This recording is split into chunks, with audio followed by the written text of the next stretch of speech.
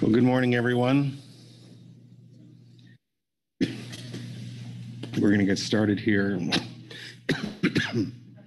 And uh, first, I'll turn to our executive director to see if there are any announcements to get us going. Uh, Good morning, Mr. Chairman and council members. Um, This is day last. Uh, Good work this week so far, everybody. Um, We do have a light agenda today. A few questions uh, that should come up, but uh, other than that, Mr. Chairman, I do not have any, uh, any remarks for you this morning. All right, thank you. Let me see before we get started if there are any remarks from the audience, from the, from the council here. Uh, Heather Hall? Good morning, Chair Gorelnik. Uh, Good morning, everybody. I um, would like to uh, start this morning, if we could, by revisiting uh, Agenda Item G5. Okay, in order to do that, we would, uh, do you have a motion in that regard? I do have a motion.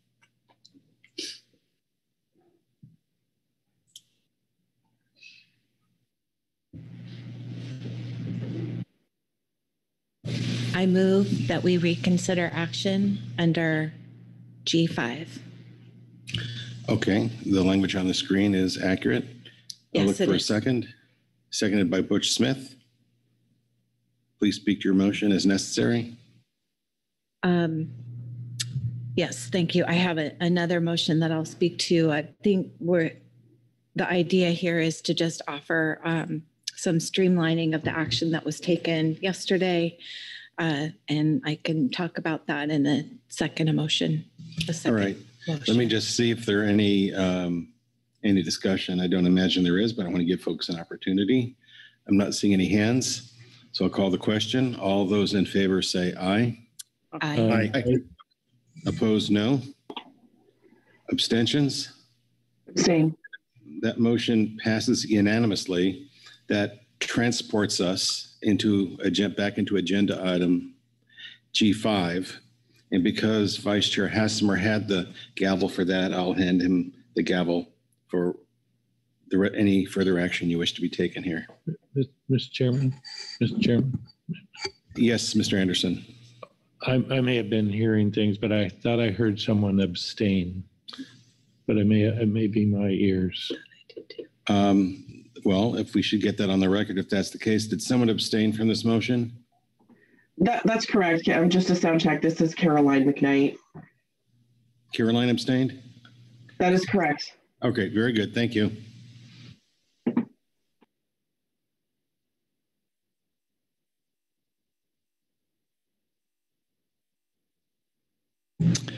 All right. I think the gavel is in my hands on this agenda item then.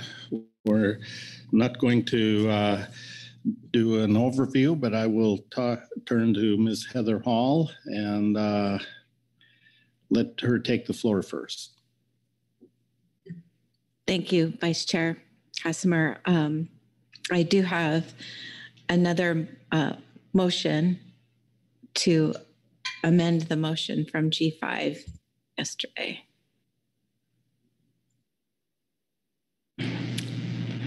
Thank you very much, Sandra. I move that we amend the motion as follows. In number one, strike out alternative two and replace with new QP alternative. Strike out number two and replace with add to new QP alternative.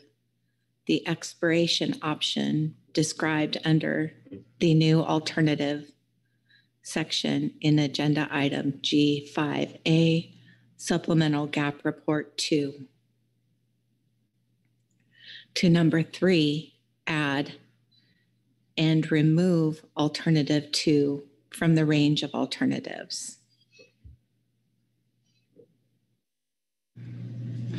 Thank you. Uh, I would ask Sandra to please scroll to the top.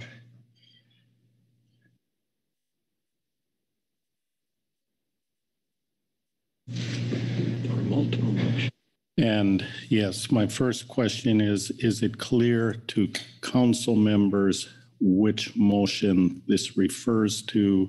Because we had multiple motions that were made and addressed through the course of this action.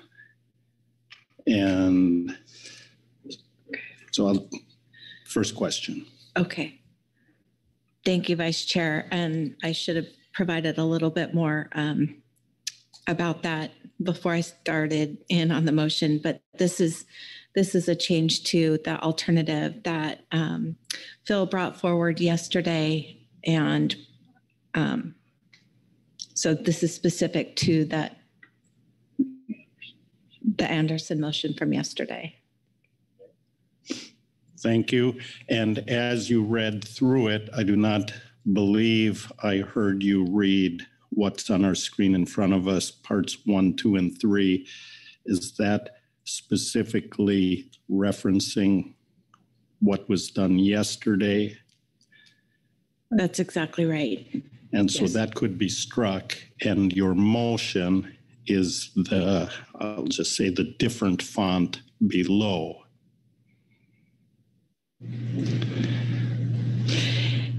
I just want I- to make sure we, Yeah, I, I wouldn't strike the entire thing because the motion really in the language in the different font just changes certain parts of one, two, and three. So there's some parts of that original motion that need to, to remain. okay. Then let me, There, I think Sandra's going to show it as the new motion describes it.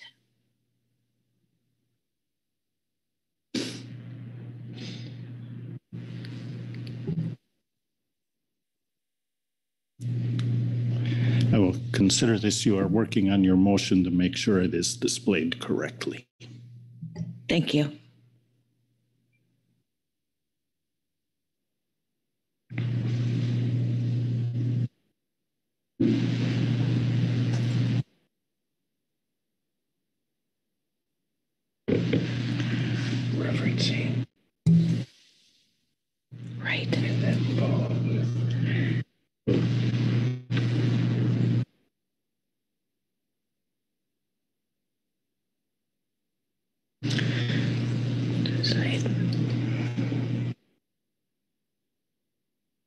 Vice Chair Hassemer. Yes. Um, as a suggestion, another way to approach this would be to, um, in the, where it starts in number one strikeout, before that, it could say referencing the language above. Okay. So Um, we may have moved far enough along in this approach that that's okay.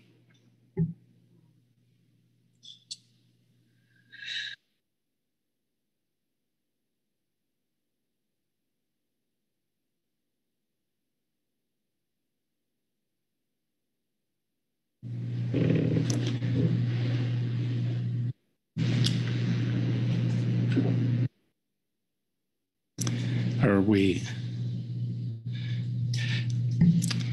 So Heather, would you please uh, take a minute and review that?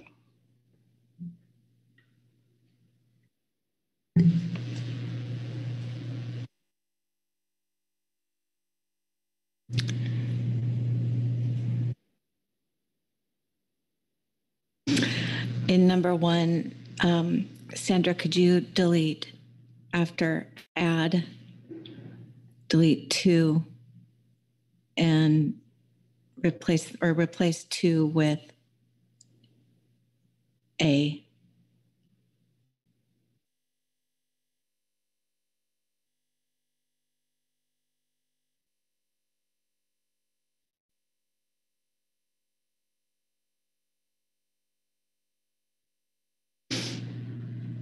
Yes, Jesse? Thank you, Mr. Vice Chair. Um, Ms. Hall, so the quota pound alternative was already moved as a part of a second, a separate motion. So this would, uh, I think two might be appropriate because you're adding to the motion that was uh, the first one that was adopted by Mr. Anderson. Thank you.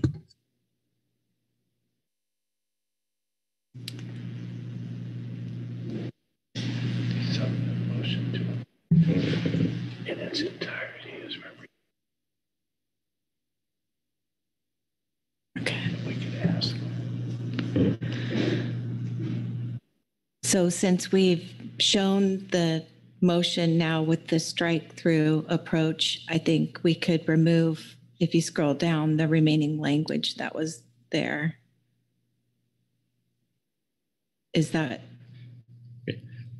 I, I just want to make sure, because I will ask you to reread your Perfect. motion. okay, And as you work on this, I want to make sure when you're Yeah. ready to do that, it's correct. Okay, thank you.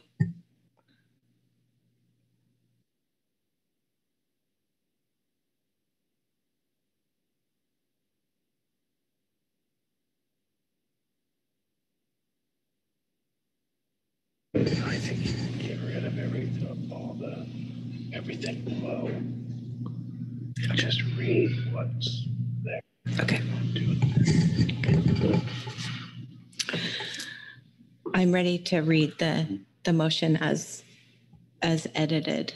All right, please go ahead. Okay. Add to Just start at the top. I move that we amend the Anderson motion as follows. One, add to new quota pound alternative, a sub option to qualify as a legacy participant. You must have landed 30,000 pounds in each of three years prior to the control date. Owned quota share as of and since the control date. And owned a vessel that gear switched as of and since the control date add to new quota pound alternative, the expiration option described under the new alternative, section in agenda item G5A supplemental gap report two. And three, suspend further analytical work on alternative three and remove alternative two from the range of alternatives.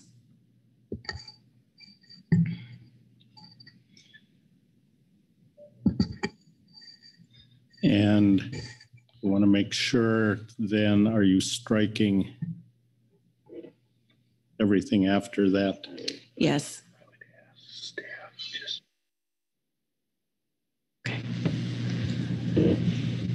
So then it could, before maybe deleting all the, um, the language below the motions one, two, and three, just confirm with staff that that's clear to them.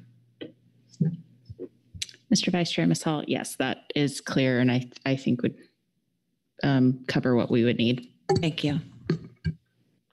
So Sandra, if you could remove the um, language under, under three. that starts with in number one. Yep. There. Thank you.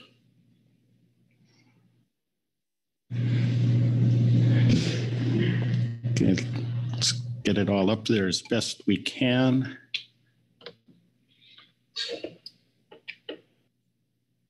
Sandra, I think above the number one, if there's just a, a line break there, you can delete. It might all appear on the screen.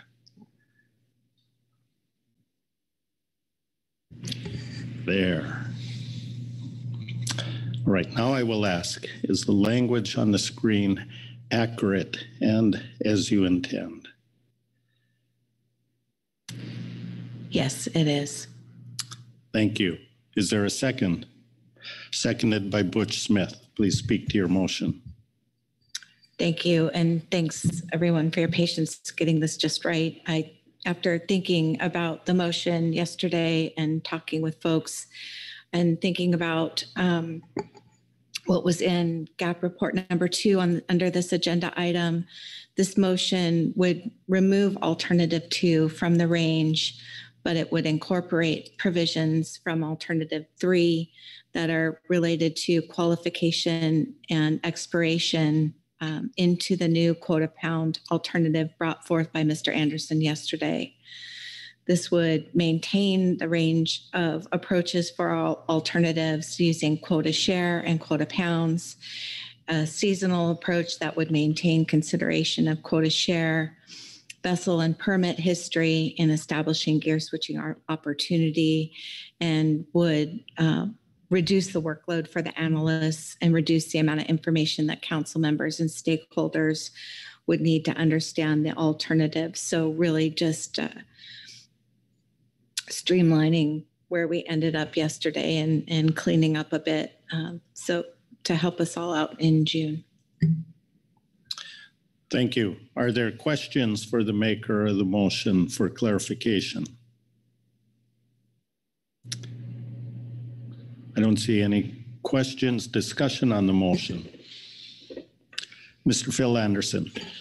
Thanks, Mr. Vice Chair. Just re- speak briefly in favor of the, um, the amendment uh, to the motion from yesterday. Uh, I think Heather did a great job of explaining the rationale behind it. I think it helps uh, reduce workload. I think it reduces the number of alternatives, which I think is a benefit to both the public as well as to all of us around the table. And as Heather mentioned, maintains a quota share approach, quota pound approach, and the approach that was uh, contained in the motion that uh, Christa Svensson brought forward that was approved. So I think it gives us a good range and uh, tries to streamline as much as possible a complex issue. Thanks. Thank you. Further discussion? I'm not seeing any hands. Oh, Oh, sorry. Lynn Mattes. Thank you, Vice Chair. I was a little slow on to get the hand up.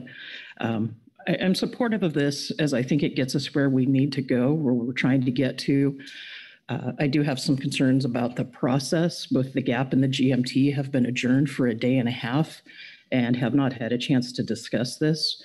I do think it's in line with what the GAP was trying to get at.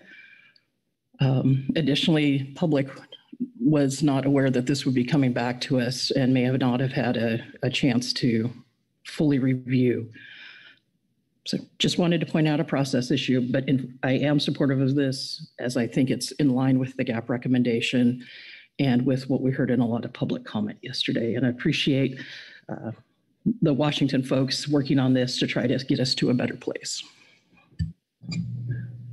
Thank you. And, and I guess I, I would take this uh, opportunity since I hold a gavel that uh, we understand your concerns, but if this were done under our normal process, under council discussion and action, that um, uh, it would not go back to the GAP GMT or the public for comment, that uh, it would be a course of action. Heather Hall.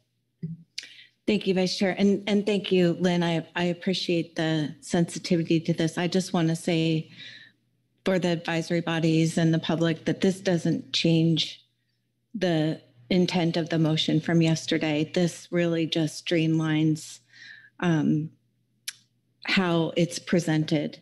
So other than removing the alternative two that was in place in November, this, this really doesn't significantly change where we ended up yesterday. Thank you.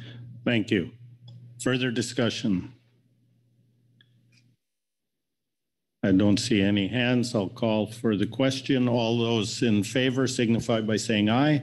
Aye. Aye. aye. Opposed? Abstentions? Abstain. Thank you. Uh, We have one abstention, Caroline McKnight. All others voted you in favor of the motion, therefore the motion passes. Is there any other business to take up on this agenda item while it's open? I'm not seeing any hands, so we will close this agenda item and I will pass the gavel back to our chair. Well, that's very kind of you, Vice Chair Hassemer, but our next agenda item is G6, considerations for sablefish assessment. I'm going to pass the hot potato right back to you. Thank you. Uh, For G6, then, I will immediately turn to Marlene Bellman, who is online to introduce this agenda item. Thank you, Vice Chair Hassemer and members of the council. Uh, it's Marlene Bellman from council staff joining you remotely. Per your council request in March, uh, the Northwest Fishery Science Center has provided an overview on the status of the age reading to support the Plan 2023 groundfish stock assessments in your advanced briefing book. Um, this is to support the process for discussion about above average recruitment success in sablefish that was raised uh, at the March meeting. And at the current meeting, the council is uh, scheduled to provide guidance on regarding the addition of a sablefish stock assessment update to the groundfish stock assessment cycle. In addition, you'll be uh, hearing from Dr. Owen Hamel. He has also provided a supplemental presentation today regarding the considerations for the sablefish assessment update. And you'll also have uh, supplemental reports provided by the SSC, the GMT, and the GAP.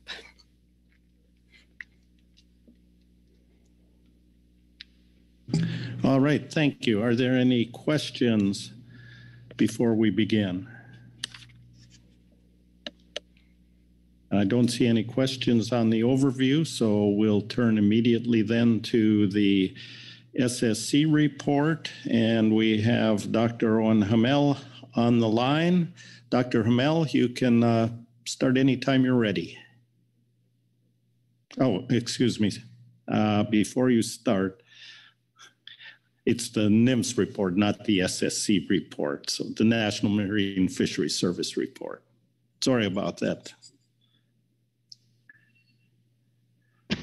Great. That's thought. That's what I thought I was presenting. Uh, so, um, uh, thank you, Mr. Chair, Mr. Uh, and council members. I'll be presenting on the potential for a limited assessment update for sablefish in 2023 and a bit on aging that we have done to support the 2023 stock assessments. Uh, next slide.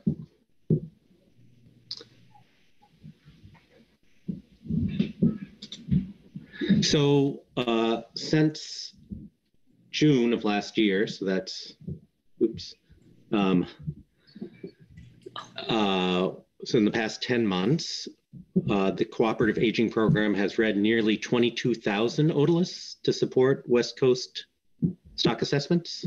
You can see there's a little issue with the slides, but I'll just keep going. Uh, the for copper rockfish, We've read over 1,000 otoliths, and since then, and a total of over 4,000 have been read in the past couple years to support the California assessments.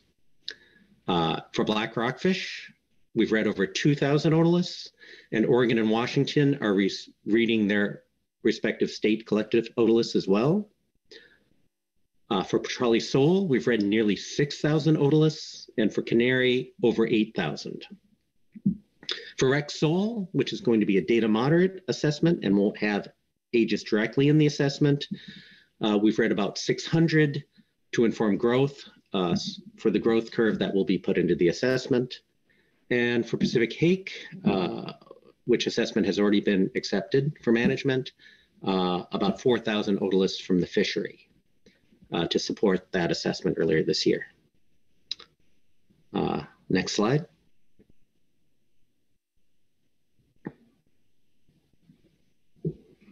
Okay, so to recap, this slide, which was uh, provided in March, uh, this is what we're seeing in terms of different length ranges. Um, the number of uh, fish we estimate to have been caught in the survey in different length ranges. Um, over the course of the survey, uh, the asterisks represent years where there was no or reduced sampling. For instance, in 2020, there was no survey. And in 2019, we only collected half as much data. Uh, so, you know, we had a strong year class in 2016, which was reflected in the 2017 and 18 uh, surveys where there were larger numbers of these uh, age one and two fish, these as seen in the black and green for the in 2017 and 18. Um, in 2021, when we had looked at this, we had looked at this as a proportion, and because those 2016 fish existed as longer, as you know, larger fish, the proportion of the small fish didn't look quite as large. But when we're looking at an absolute numbers, the 2021 uh, numbers for these smaller fish is quite large, and it's even larger in 2022. So there's definitely evidence here that there are some very strong year classes recently 2020 2021 2022 potentially. Um, that will be you know three to five years old by 2025 um, and could be caught in large numbers in the fishery and as bycatch okay uh, next slide please. Uh, so again the upshot is we think it's probably uh, it would be a good idea to have an update done this year. If that is to be done, uh, there are two options for when it can be reviewed. As we are already planning to have two uh, groundfish subcommittee meetings in August, the 14th and 15th, and the 28th and 29th, to review the star panels and also some catch-only projections. So a mid-August review would necessitate a late July draft document. And since we need nearly two months with all the data to be confident about having uh, explored everything for the assessment and to write it up, we would need an early June H data deadline. The late August review would push the draft deadline two weeks, and we could keep aging until you know mid-June, the 15th or 20th. Uh, we'll start aging next Monday. Um, and this will not affect aging for the other species. All planned aging will be completed. Most of it's been done. Uh, we're, we'll really only be aging for the final star panel for another couple weeks. Uh, so over the past two years, the survey has collected nearly 4,000 otoliths, about 1,700 last year, and over 2,000 in 2021. So by the end of May, we should be able to age all those 2022 otoliths. And that's the more important year to age because the fish are older. We'll have a better idea of 2020 and 2021 year classes than we would from the 2021 survey. And of course, we'll have some information on 2022 um, as well as earlier year classes. Uh, but the 2021 otoliths are also important and will provide information. Uh, so uh, if we choose the later August time for review. That will give us an extra two to three weeks of aging, and we could probably do about half of the 2021 survey. Uh, so that provides us, you know, good information from both surveys on the age composition. We will not be adding fishery composition uh, to this limited assessment update. There won't be time to age any of those, but the fishery doesn't tend to see as many of the youngest fish so the survey is really more important for, for the information. Uh, next slide, please.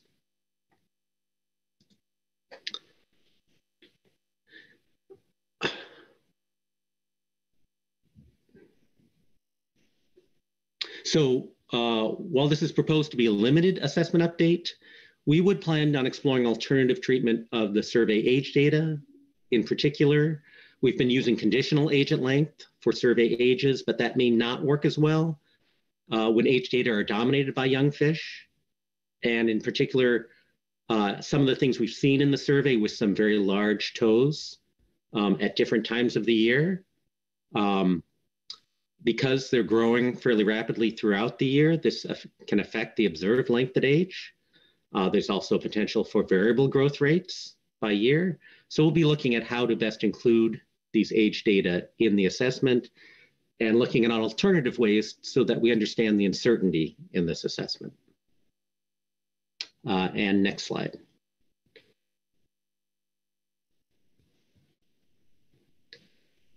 So this next slide is the last slide.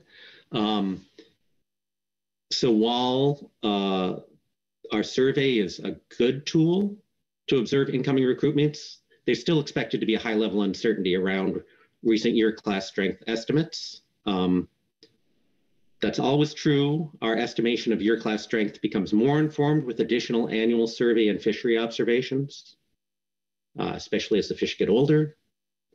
And in addition, since this is proposed to be a limited update assessment that will include recent age data only from the survey, um, there may be a higher level of uncertainty than if we were doing a full assessment and could do more explorations or even a traditional assessment update.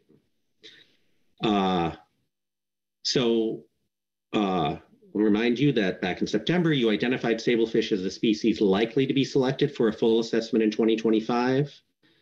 Uh, because of the additional information that will be available over the next couple of years, uh, the fact that we're conducting this um, update, or if we conduct this update, shouldn't really necessarily influence that decision uh, coming up next year. Uh, and that's what I have. I'm happy to take questions. Thank you. Thank you. Are, are there questions for Dr. Hamel on the NMFS report? I see one hand up, Caroline McKnight. Thank you, Mr. Vice Chair. Just a quick sound check. Can you hear me okay? Yes, we can. Excellent. Um, thank you, um, Dr. Hamel, for the presentation. Uh, just a few questions relative to um, timing on, I think it's slide, oh, there's no numbers on the slides. The fourth slide, uh, relative to timing and the uh, groundfish subcommittee meetings. Um, uh, just like to hear a little bit more about the uh, two subcommittee meetings. You mentioned the timing. There's a mid-August and a late August.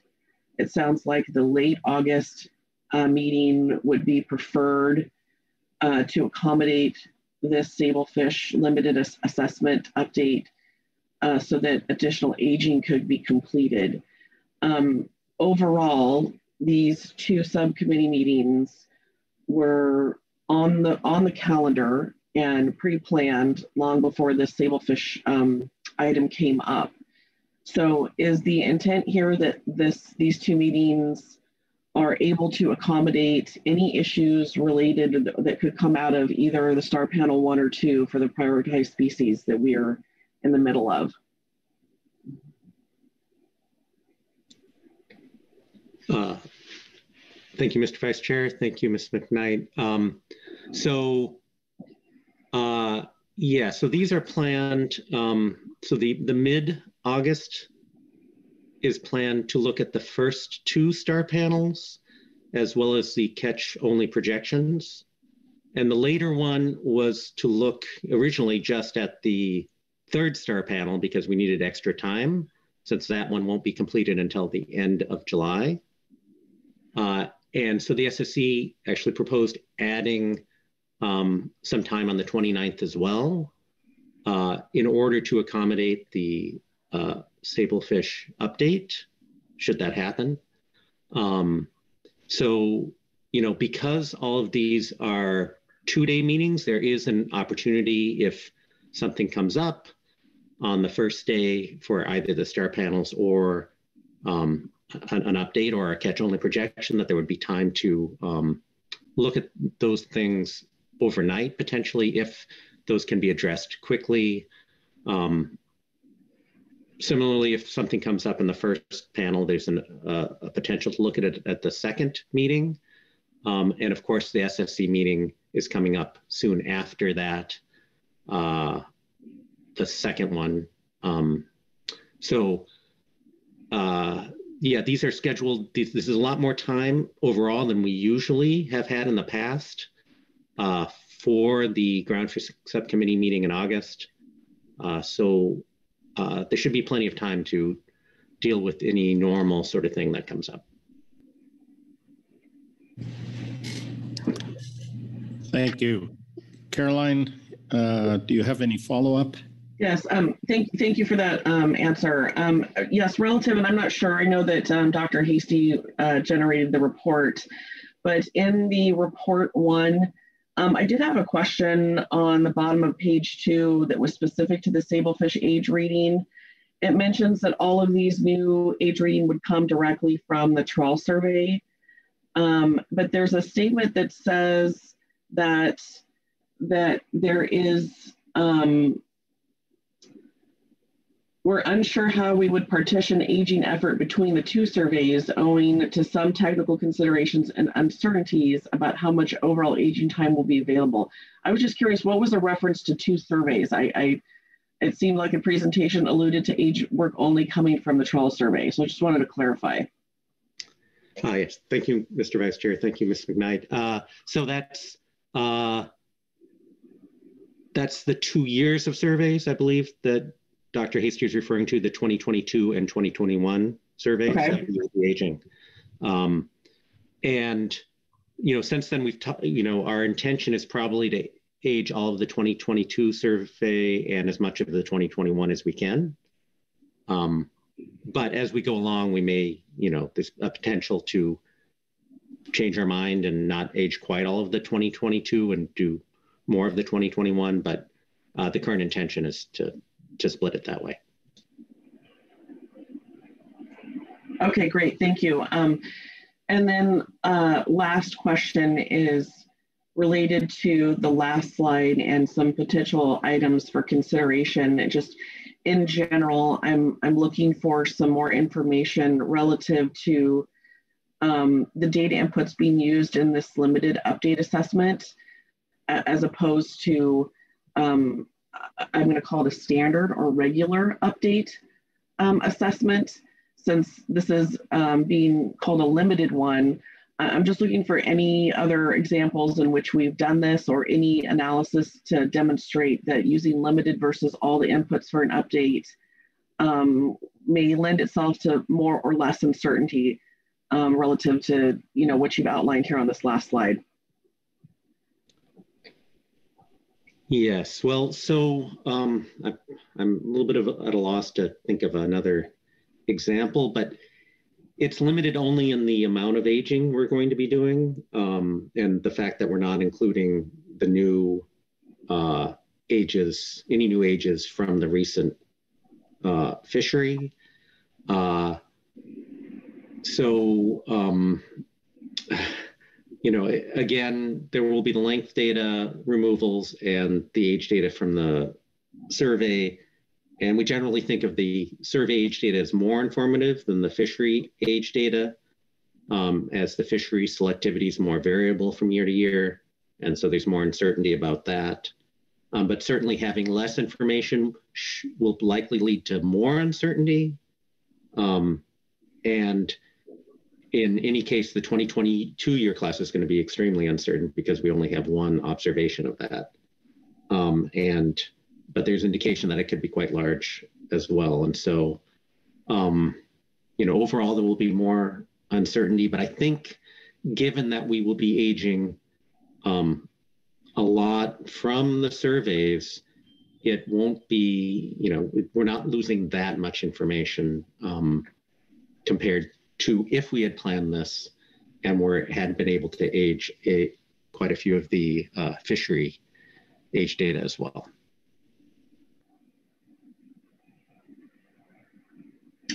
Thank you for that response. That that concludes my questions. Thank you. Thank you, Caroline. Further questions? Chair Gorelnik.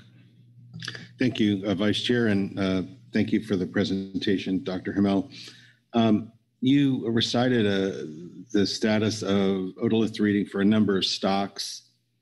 Um, One stock that was not mentioned was quillback, which is a stock that's severely constraining um, non-trawl fisheries in California. Um, And then elsewhere in the presentation, you you indicate that this work would not interfere with aging of other otoliths. And I'm just looking for confirmation that that is also true with regard to uh, any otolith aging that's ongoing for the quillback.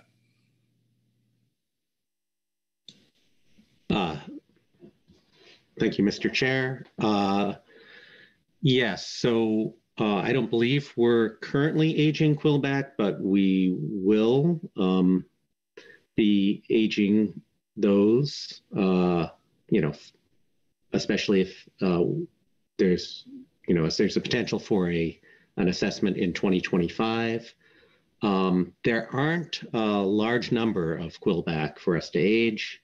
Um, so that should not be take take a long time to do those ages. Um, I know there's also some research being done um, on aging and looking at um, uh, thin sectioning uh, and different approaches to aging to um, to see what uh, you know to do some comparative aging and look for aging error. Um, uh, so this will not affect any of that. No. All right, thanks very much. Thank you. Further questions? Heather Hall. Thank you, Vice Chair. And I, I don't know that I necessarily have a question here, but I wanted to thank Dr. Hamel for putting this together. Um, really, given the council's request for a little bit more information, I know as we were thinking about this, we rely heavily on um, what the Science Center um, says they think they can handle and, and appreciate the the update on the aging for copper, black, petrale, canary, and Rex that's that's been done, and um, Hake as well, and just feeling some uh, sense that this is the sablefish update is is doable um, for the science center. Uh, so really, just just thanking Dr. Hamel and folks that worked on this. Thank you. Thank you, Heather. Further questions?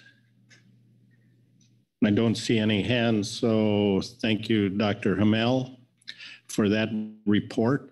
Now we will get to our Scientific and Statistical Committee report, and Dr. Jason Schaffler is here to present that. Good morning, Dr. Schaffler. Thank you, Mr. Vice Chair. I will be reading Agenda Item G6A, Supplemental SSC Report 1, April 2023, Scientific and Statistical Committee Report on Considerations for a Sablefish Update. The Scientific and Statistical Committee received an overview from Dr. Owen Hamel regarding strong recent sablefish recruitment detected in the 2021 and 2022 West Coast groundfish bottom trawl surveys and the proposed limited sablefish stock assessment update in 2023. The update would incorporate the trawl survey index and age data from the 2021 and 2022 surveys to provide harvest specifications for 2025 and 2026 that account for evidence of strong recent recruitment. The SSC discussed the proposed scope of the update, workload implications, and whether to proceed. The SSC discussed the need to update the 2021 full stock assessment, considering review capacity, other aging priorities, and assessment workload for the 2023 biennium. The limited scope of the update, focusing on aging of only samples from the trawl survey, should prevent disruption to other ongoing assessment activities previously prioritized for 2023. The SSC is supportive of the approach that is being proposed. The SSC also discussed the potential trade-offs associated with doing the update now and if it would affect future prioritization of a full or updated assessment in 2025. The next few years of surveys will continue to track the recent strong cohorts, providing additional information where the selectivity of the year is greater, better informing recent year class strength in future assessments. Assuming the limited update will not preclude consideration of a full assessment in 2025, the SSC is supportive of the limited update this year. The SSC Groundfish Subcommittee can review the update assessment at the second of two subcommittee meetings planned to review 2023 assessments, which is scheduled for August 28th through 29th, 2023. This will provide additional time for aging the over 3,900 samples collected from the surveys during 2021 and 2022. Attendance of the groundfish management team and groundfish advisory subpanel is highly recommended to provide input. And that concludes my statement. Thank you. Are there questions for Dr. Schaffler on his report? Lynn Mattes. Uh, Thank you for the report. Um, I just want to appreciate the SSC acknowledging that the GAP in GMT need to be part of this process. It was something I'd asked for in March. So really appreciate you all considering that. Thank you. Further questions? Caroline McKnight. Um, yes, thank you, and thank you for the report. Um, I'm just uh, going to again ask for some confirmation um, that in the discussion in, in the SSC relative to the timing of the August 28th, 29th subcommittee review, that there was some discussion about whether or not that, that does allow enough time for discussion for this assessment, should there be issues or concerns that arise from our other priority species that we may not be um, expecting or anticipating, but we plan for because occasionally it does happen. Thank you, Ms. McKnight. Yes, the SSC dis- did discuss this at length, and an additional day, August 29th, was added to that second meeting to accommodate the, the sablefish, the potential for a sablefish update. Thank you. Thank you very much. I appreciate that. Further questions on the SSC report? And I don't see any hands, so thank you, Dr. Schaffler. We will next move to the groundfish management team report, and Katie Pearson is online to deliver that. Good morning, Katie. Can you hear us okay? Yes, I can. Can you hear me? Absolutely. All right. Thank you, Vice Chair Hassemer.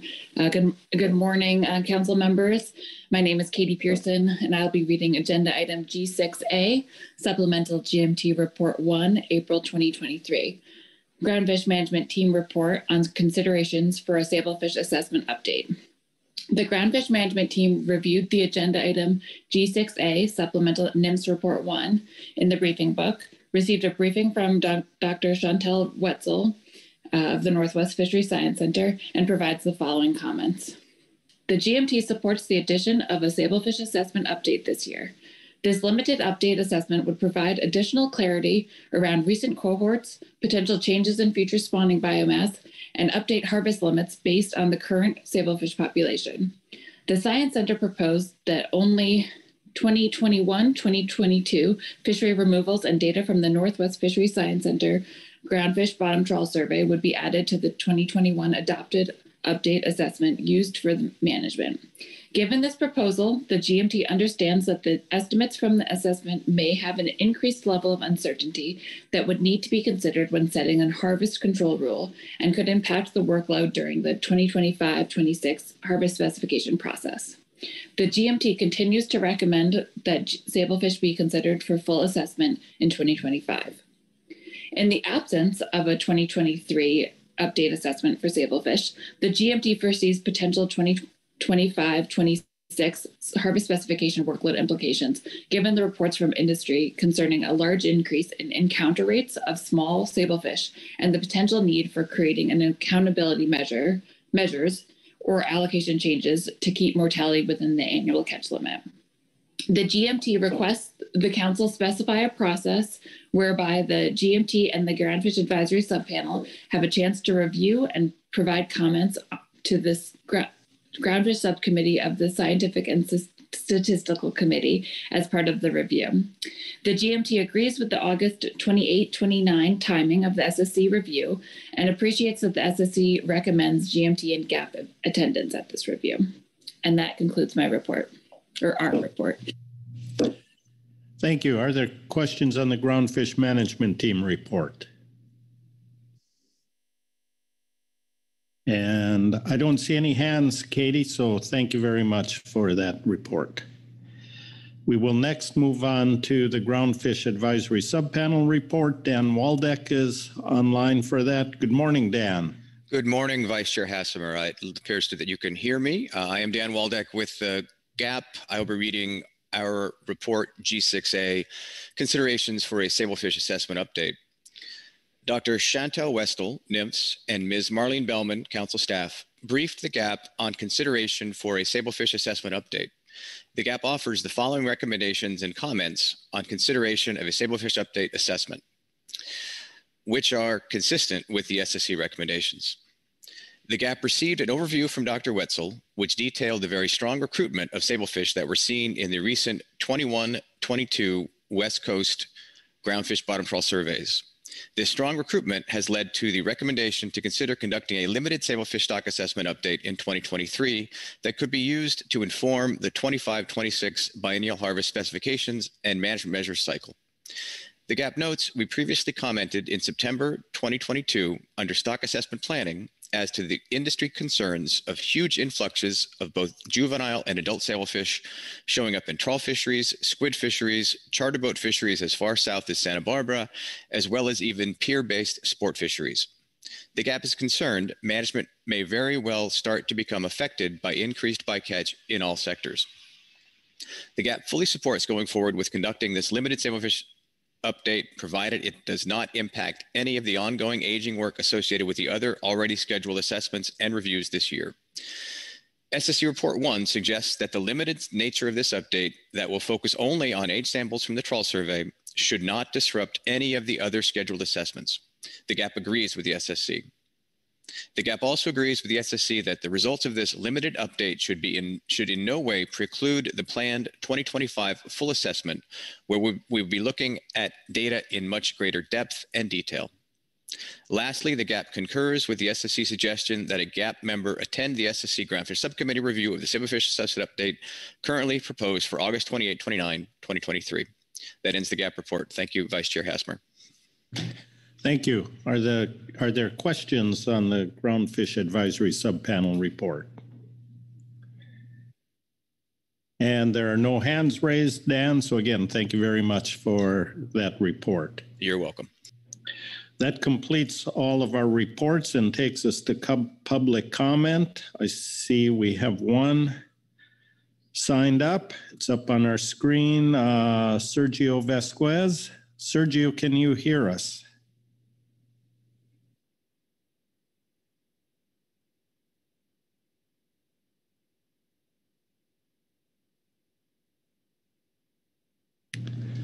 I am checking to see.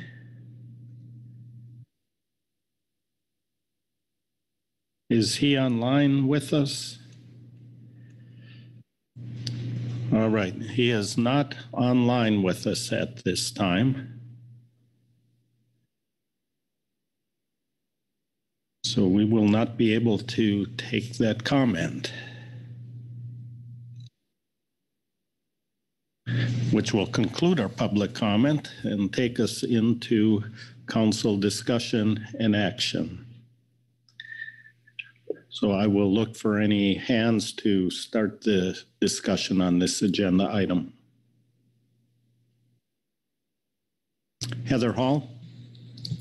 Thank you, Vice Chair. I'll, I'll just get started by um, saying that I, I think an update here would be um, important and very beneficial. Um, I think we've heard we've heard from the GMT under in season at this meeting um, catch in, of sablefish in 2022 approaching the ACL. We've been hearing from the GAP um, last year that the catch of sablefish in all sectors is uh, is really high. I I think I, I I appreciate the concern for you know, what does this mean for the stock assessment process and trying to anticipate, um,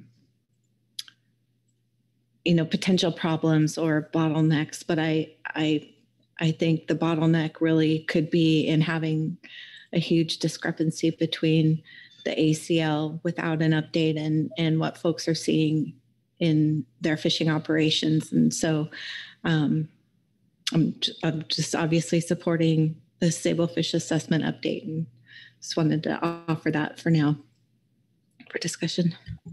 Thank you. Further discussion. Caroline McKnight. Thank you, Mr. Vice, Vice Chairman, and um, thank you, Heather, for your comments. Um, I'm I'm very conflicted on this item. Um, in general, I've been thinking about it since March. Um, I I feel pretty comfortable as of this morning, hearing from all the advisory bodies that the front initial workload to complete the limited assessment can be accommodated.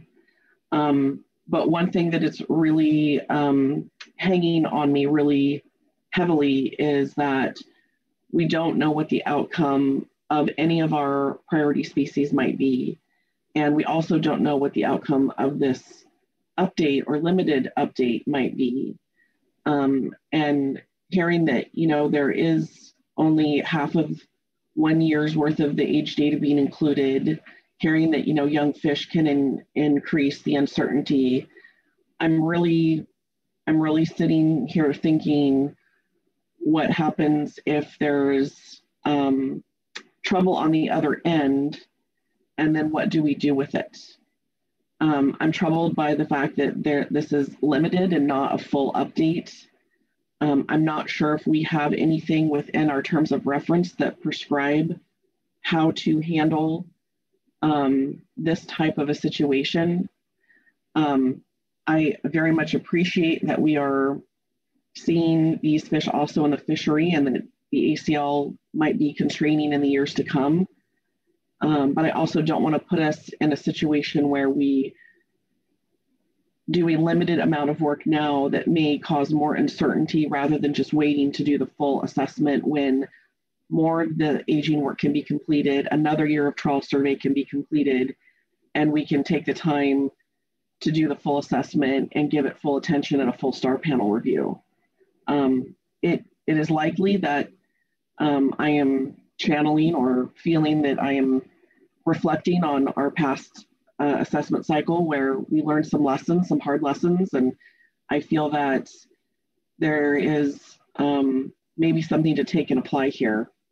Um, I, I, do appreciate everyone's input in looking at this, and um, I welcome a little bit more discussion on on how to work through this and come to the right decision. But at this time, I'm I'm leaning more with with not supporting adding this this workload um, to the plate. Thank you. Thank you, Caroline. Further discussion on this. Uh, we've heard so guidance to support moving forward. We've heard guidance to not move forward on this. So I want to get a sense of the full council's position on this and what we should do. Where am I at? Caroline, your your hand is still raised. Did you have something additional? Oh, it's down now. But uh, Vice Chair Pettinger. Um, yeah, thank you, um, Vice Chair Hassemer. Um, you know, we asked to have them do this, the Science Center do this um, to, to, work it in um, last year. They said they couldn't do it. Um, they got to look at the information and they've, um, uh, it's going to be an issue and they've uh, set aside people to do it and they say they can do it. I don't know what the issue is here. Um, you know, we could, we get the information back at the end of the summer, we can uh, judge it on its merits and I'm sure the Science uh, Center folks will uh, give us the full um, um, the full backstory on, on how things went and where they lacked information and where the uncertainty was, and we can decide then. But I think that um, you know this is needed to be done. It was it was recognized that by the fleet in November, and uh, this seems to me like a no brainer. Thank you. Thank you, Chair Gorelnik.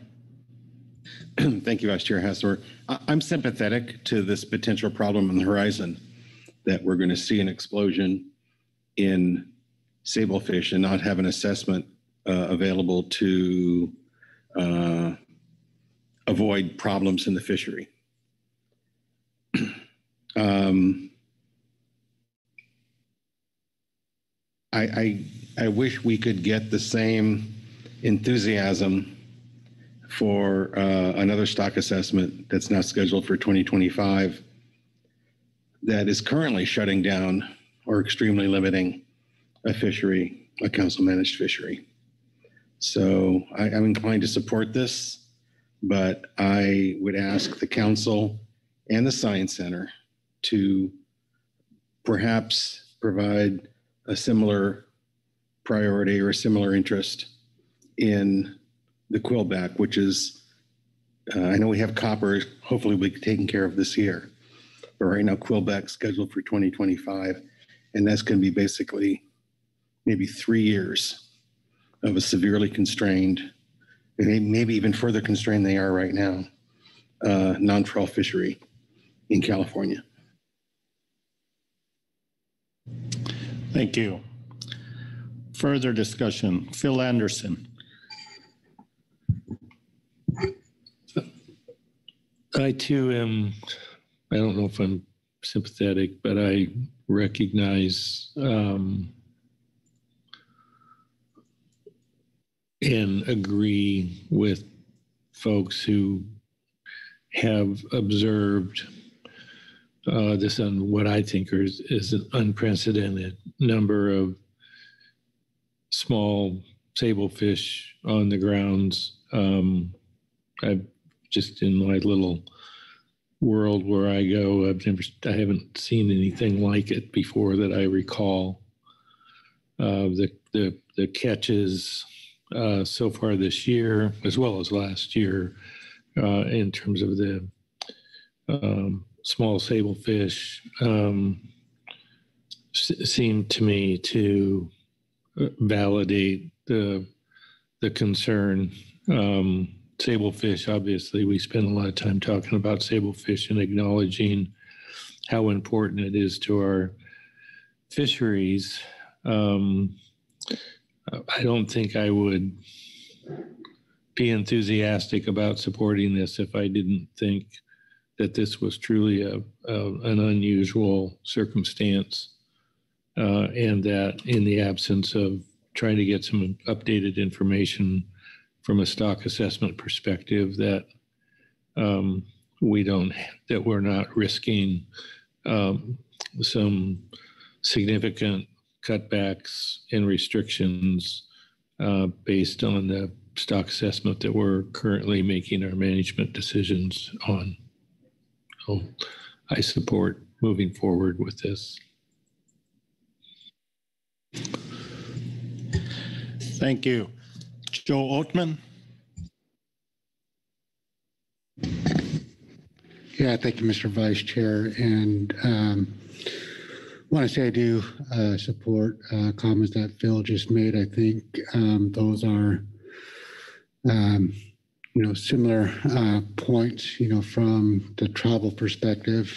Uh, we think that this um, update would be uh, pretty important um, uh, relative to uh, travel fisheries, and we would support um, moving forward with that.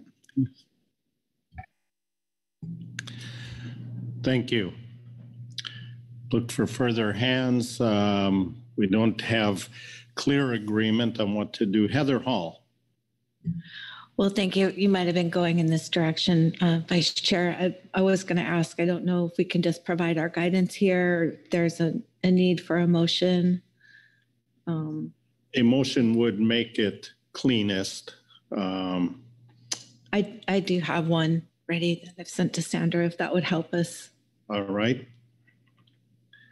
If you're ready to make that motion, I'll still look for hands for additional discussion, but uh, there it is on the screen. So go ahead and read your motion. I move the council add a sablefish stock assessment update to the current groundfish stock assessment cycle. The language on the screen is accurate. Yes. Thank you. Is there a second?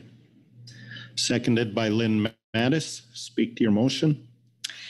Well, I, I have started to hear a little bit uh, this morning. I think this is a, an important um, move for us to make here, given what we're hearing from, and I feel comfortable with that, given what we're hearing from the Science Center.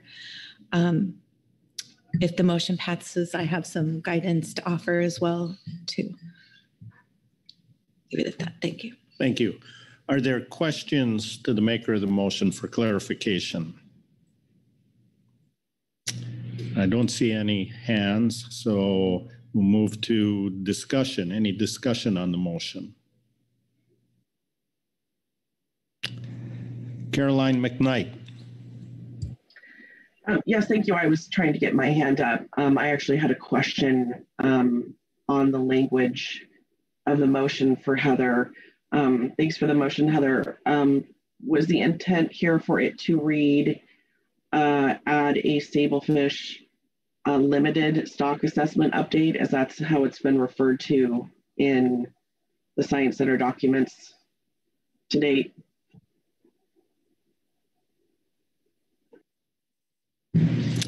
Thank you for the question, Ms. McKnight. Um, I, I don't know if, if adding the word limited um, is needed here. I, I was just taking this as the guidance from the Science Center. If it would be helpful, I, I would do that. It, I think that is the way it's been spoken to. Um, we could add limited after A. And that, that's right. I, I think if, in speaking to your motion, if you make it clear that you're referencing the reports and the documents, it, it should be on the record. Okay, thank you. So as long as you state that, that's Yeah, what you, that's, that's the intent. I'm, I'm looking to the statements from the SSC, the report by, from the Northwest Fishery Science Center and NMFS um, regarding their approach to doing this stock assessment update in a limited way. Thank you. thank you. Does that answer your question, Caroline? Yeah, thank you. I just wanted to make sure we were, we had as much clarity as possible. So thank you. Thank you. Further discussion on the motion? And I'm not seeing any hands. I will call the question. All those in favor signify by saying aye. Aye. Aye. Aye. Opposed? No, Abstentions? The uh, Caroline McKnight voted no. Uh, All others voted in favor of that, so the motion passes. And I will look for any further discussion. Heather Hall. Thank you. Um, I just wanted to offer the guidance that we also heard from the SSC and the Science Center in terms of scheduling the um, groundfish subcommittee review um, at the the later in August, the August 28th through 29th timeframe to give the the folks that are working on it the, the most time for age reading. Also, really appreciate the um, the thought and bringing in the and the importance of bringing in the GMT and the GAP for that review uh, when the time comes. Thank you. Thank you. Further discussion, guidance needed?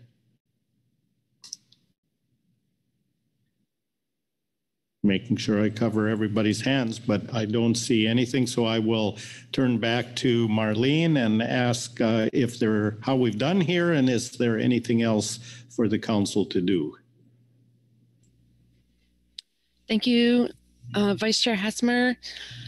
The council heard uh, updates and was had an opportunity to provide additional questions for the Science Center regarding the stock assessment activities there. Um, you also heard from your advisory bodies and had a, a robust council discussion on various aspects of considerations that uh, were relevant to this discussion.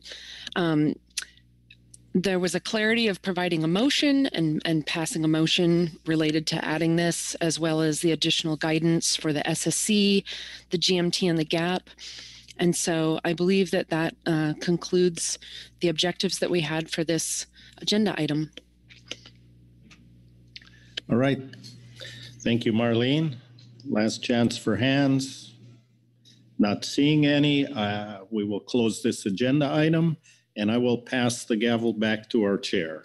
All right, thank you very much for completing our last groundfish item of the meeting. Uh, I'm going to look around and see if folks want a short break or whether we can uh, conquer uh, membership appointments and COPs. Go forward. All right, so we're going to, and then what we'll do is we'll take a longer break as we do on day last, allow people to check out of the rooms and whatever else they need to do. So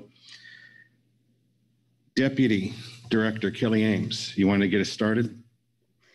You bet. Good morning, Chair Gorelnik, council members. This is agenda item F6, membership appointments and council operating procedures. Uh, during this agenda item, the council considers administrative appointment issues regarding the council membership roster, including council members, advisory body members, and any relevant changes in the council's operating procedures or statement of organization, practices, and procedures. Relative to council officers, members, and designees, since publishing the advanced briefing book, we learned that Dave Hanson will be retiring after 30 successful years with Pacific States. With Dave Hanson's retirement, there will be changes to the legislative and budget committee rosters. For the legislative committee, appointments are made by the council chair, usually in consultation with the council. If folks are interested and have not yet had the opportunity to express that interest, it would be good to do so in order to be considered. For the Budget Committee, Dave Hanson occupied the Pacific States seat, and thus Barry Thom will fill that role until a replacement is identified by Pacific States. Council Advisory Body appointments for the 2022 to 2024 term. For the Coastal Pelagic Species Advisory Subpanel, the Council recently solicited nominations for the vacant processor position on the CPSAS and received a nomination from Mr. Mark Fina, which was provided to you as closed session A1 attachment one. For the Ecosystem Advisory Subpanel, the Council recently solicited nominations for the Washington position on the EAS, but did not receive any nominations. This solicitation was extended with a deadline of May 22nd for Council consideration at the June 2023 meeting. As a reminder, and you can see on our homepage banner, we also have solicitations open for the CPSAS subpanel uh, commercial position and the HMSAS subpanel commercial troll position. For Council Advisory Body agency appointments, for the Groundfish Endangered Species Work Group, the Northwest Fisheries Science Center has nominated Dr. Kayleigh Somers to replace Dr. Jason Jannot for the observer program position on the Groundfish Endangered Species Work Group that was provided in closed session A1 attachment 2. The SSC reviewed this nomination and reported to the council under closed session. For the groundfish management team, the Southwest Fisheries Science Center has nominated Dr. Aaron Mamula to the Southwest Fisheries Science Center position on the GMT, which was closed session attachment three. Dr. Mamula is an economist and thus could also fulfill the GMT membership objective that one member should be an economist. And this is in Council Operating Procedure number three. The SSC reviewed this nomination and reported to the Council under closed session. For the remaining vacancies, uh, Mr. Joe Peterson resigned his position on the GMT, leaving the tribal position vacant. For your council operating procedures, in November 2022, the Council tasked staff with updating COP9 Schedule 3 for the coastal pelagic species management cycle to reflect the correct assessment type in the assessment schedule for Pacific mackerel and to revise the timing of the stock assessment and fishery evaluation document to once per year. Additionally, edits were provided related to Amendment 20 CPS management categories and that is in attachment three. Council action under this agenda item is appointing a nominee to the processor position on the CPSAS. Number two, appointing a Northwest Fisheries Science Center nominee to the Groundfish Endangered Species Work Group. Number three, appointing the Southwest Fisheries Science Center nominee to the Groundfish Management Team. And number four, consider adopting the proposed changes to COP9. uh, reference materials uh, in your briefing book that I wanted to highlight. Uh, we do have two supplemental uh, advisory body reports, one from the GMT and one from the CPS MT. And with that, I'd be happy to take any questions. All right, thank you very much, Kelly. Let's see if there are any questions. And you did a very thorough job, so I don't see any hands. So we will move from there into our reports.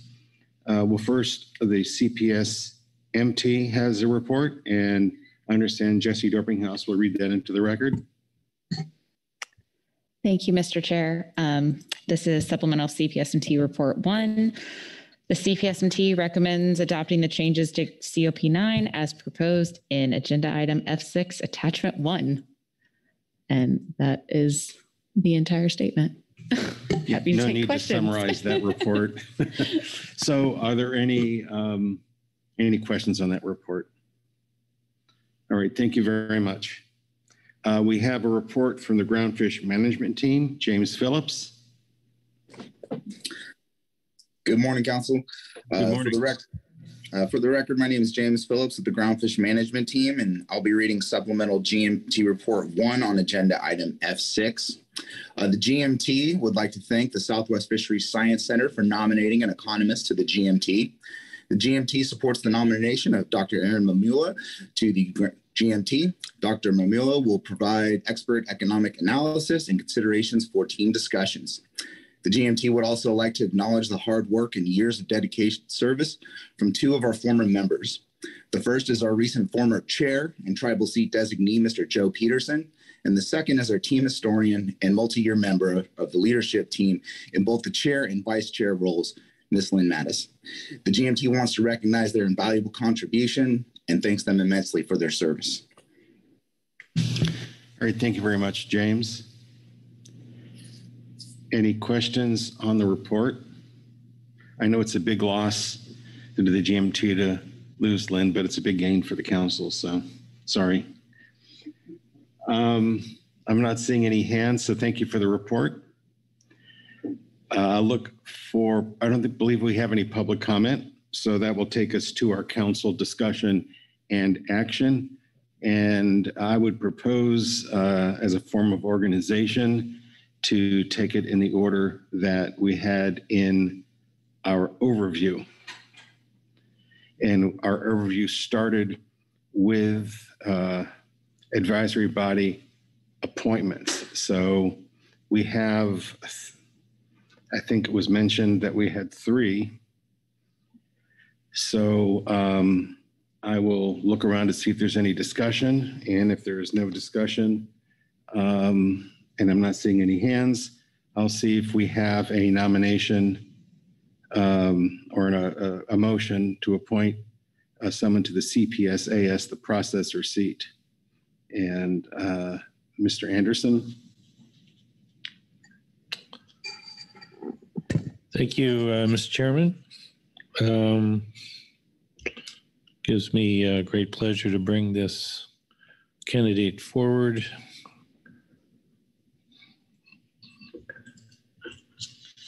For council consideration, um, I move the council appoint Mr. Mark Fina to the processor position on the Coastal Pelagic Species Advisory Subpanel. All right, thank you. The, the language on the screen does appear accurate and complete. I'll look for a second. Seconded by Corey Ridings. Please speak to your motion. Thanks, Mr. Chairman. As I said, it's, it's um, great to be able to bring this um, recommendation forward. Uh, Mark brings with him over 20 years of experience, primarily working in the North Pacific Council arena. Um, His background demonstrates that he has a, uh, a um, solution-oriented um, brings a solution oriented objective to complex problems and problem solving. Um, he's currently the executive director of the California Wetfish Producers Association.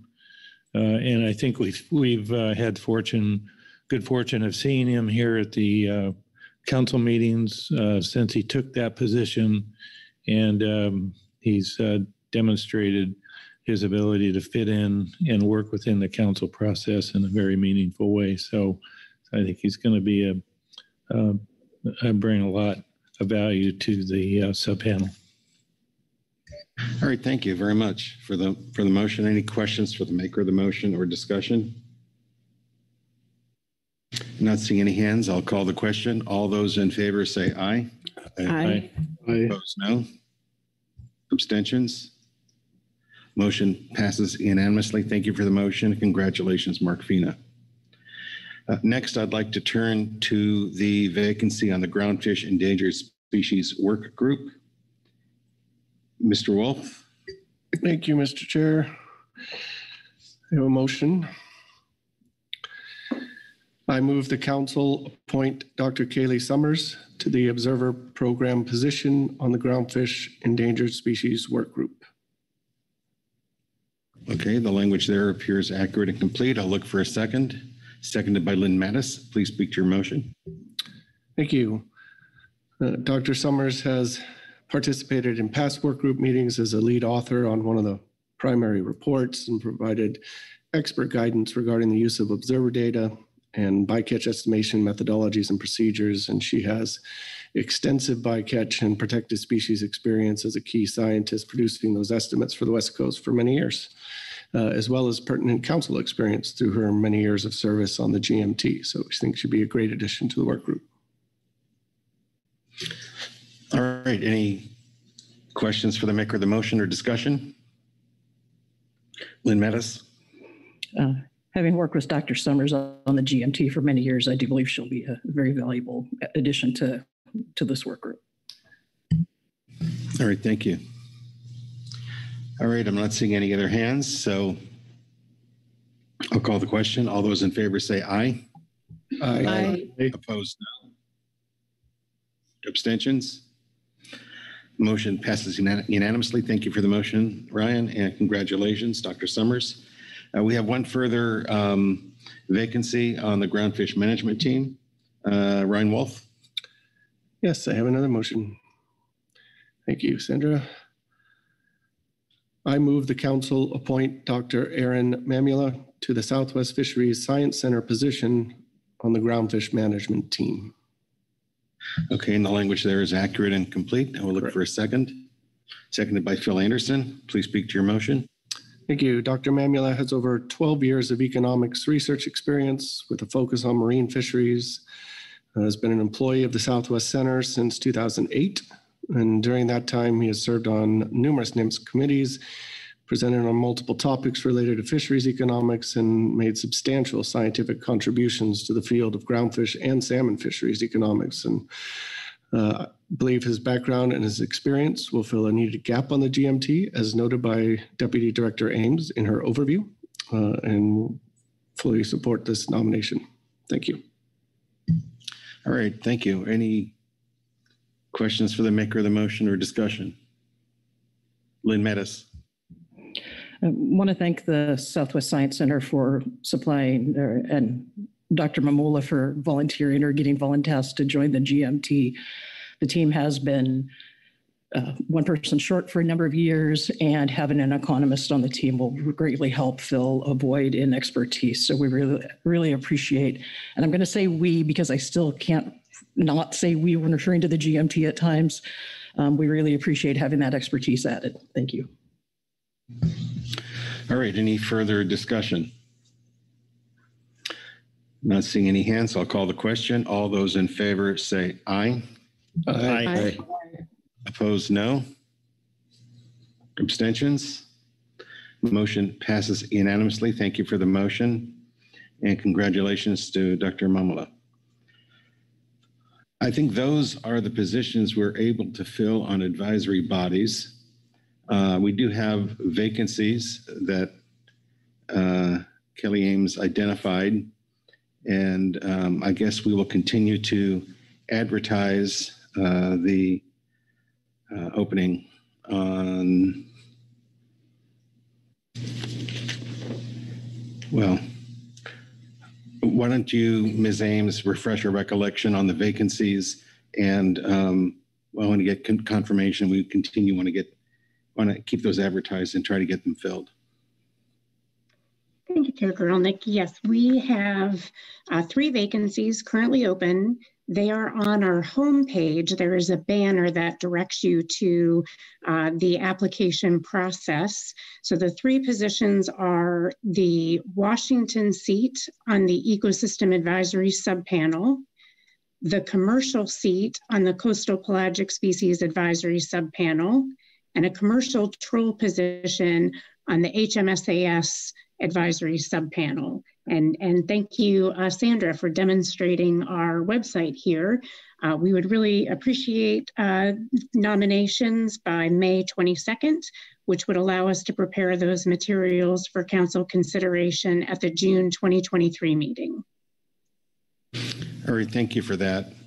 Um, also, with Joe Peterson resigning his position on the GMT, there is a open tribal seat, so we'll be looking for that seat to be filled and look forward to uh, a nomination there.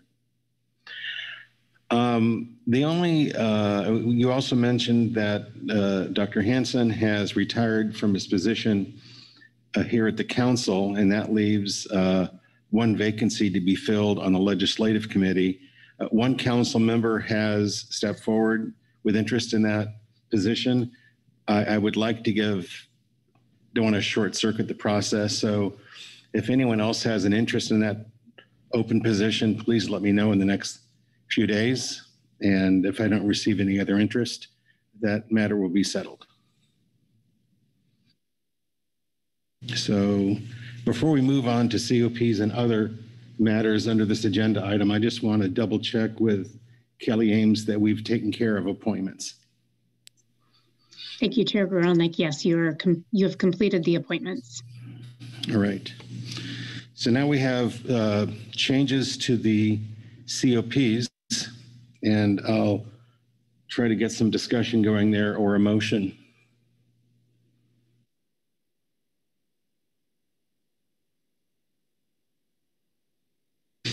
Caroline McKnight. Uh, thank you, Mr. Chairman. Unless there is discussion um, or questions, um, I believe I might be prepared to give a motion. Well, I think that you should bring your motion forward and then that may engender some discussion. Very good. I will um, give Sandra just a moment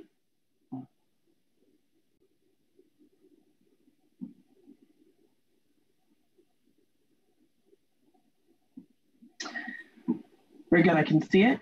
Um, I move the council adopt the changes to COP 9 as recommended by the CPSMT and agenda item F6A, supplemental CPSMT report 1, April 2023. All right, thank you very much. The language on the screen appears accurate and complete. And I'll look for a second.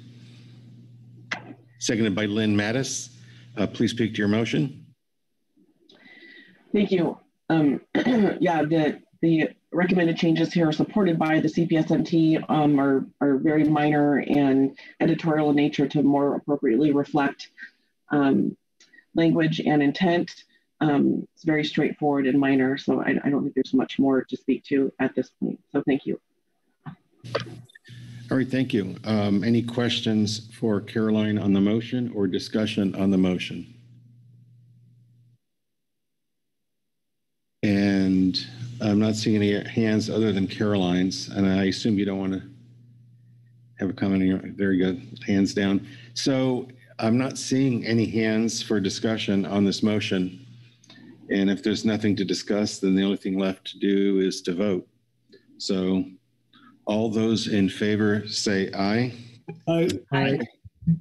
Opposed, no. Abstentions? The motion passes unanimously. So that takes care of appointments, that takes care of the COP. Let's see if there's any other business for the council. Corey Ridings. Thank you, Mr. Chair. Um, I wanted to circle back on the committee idea that was discussed during our EEJ item earlier in the week. Um, I have a motion if that's helpful. Motions tend to be great organizing principles for discussion, so please.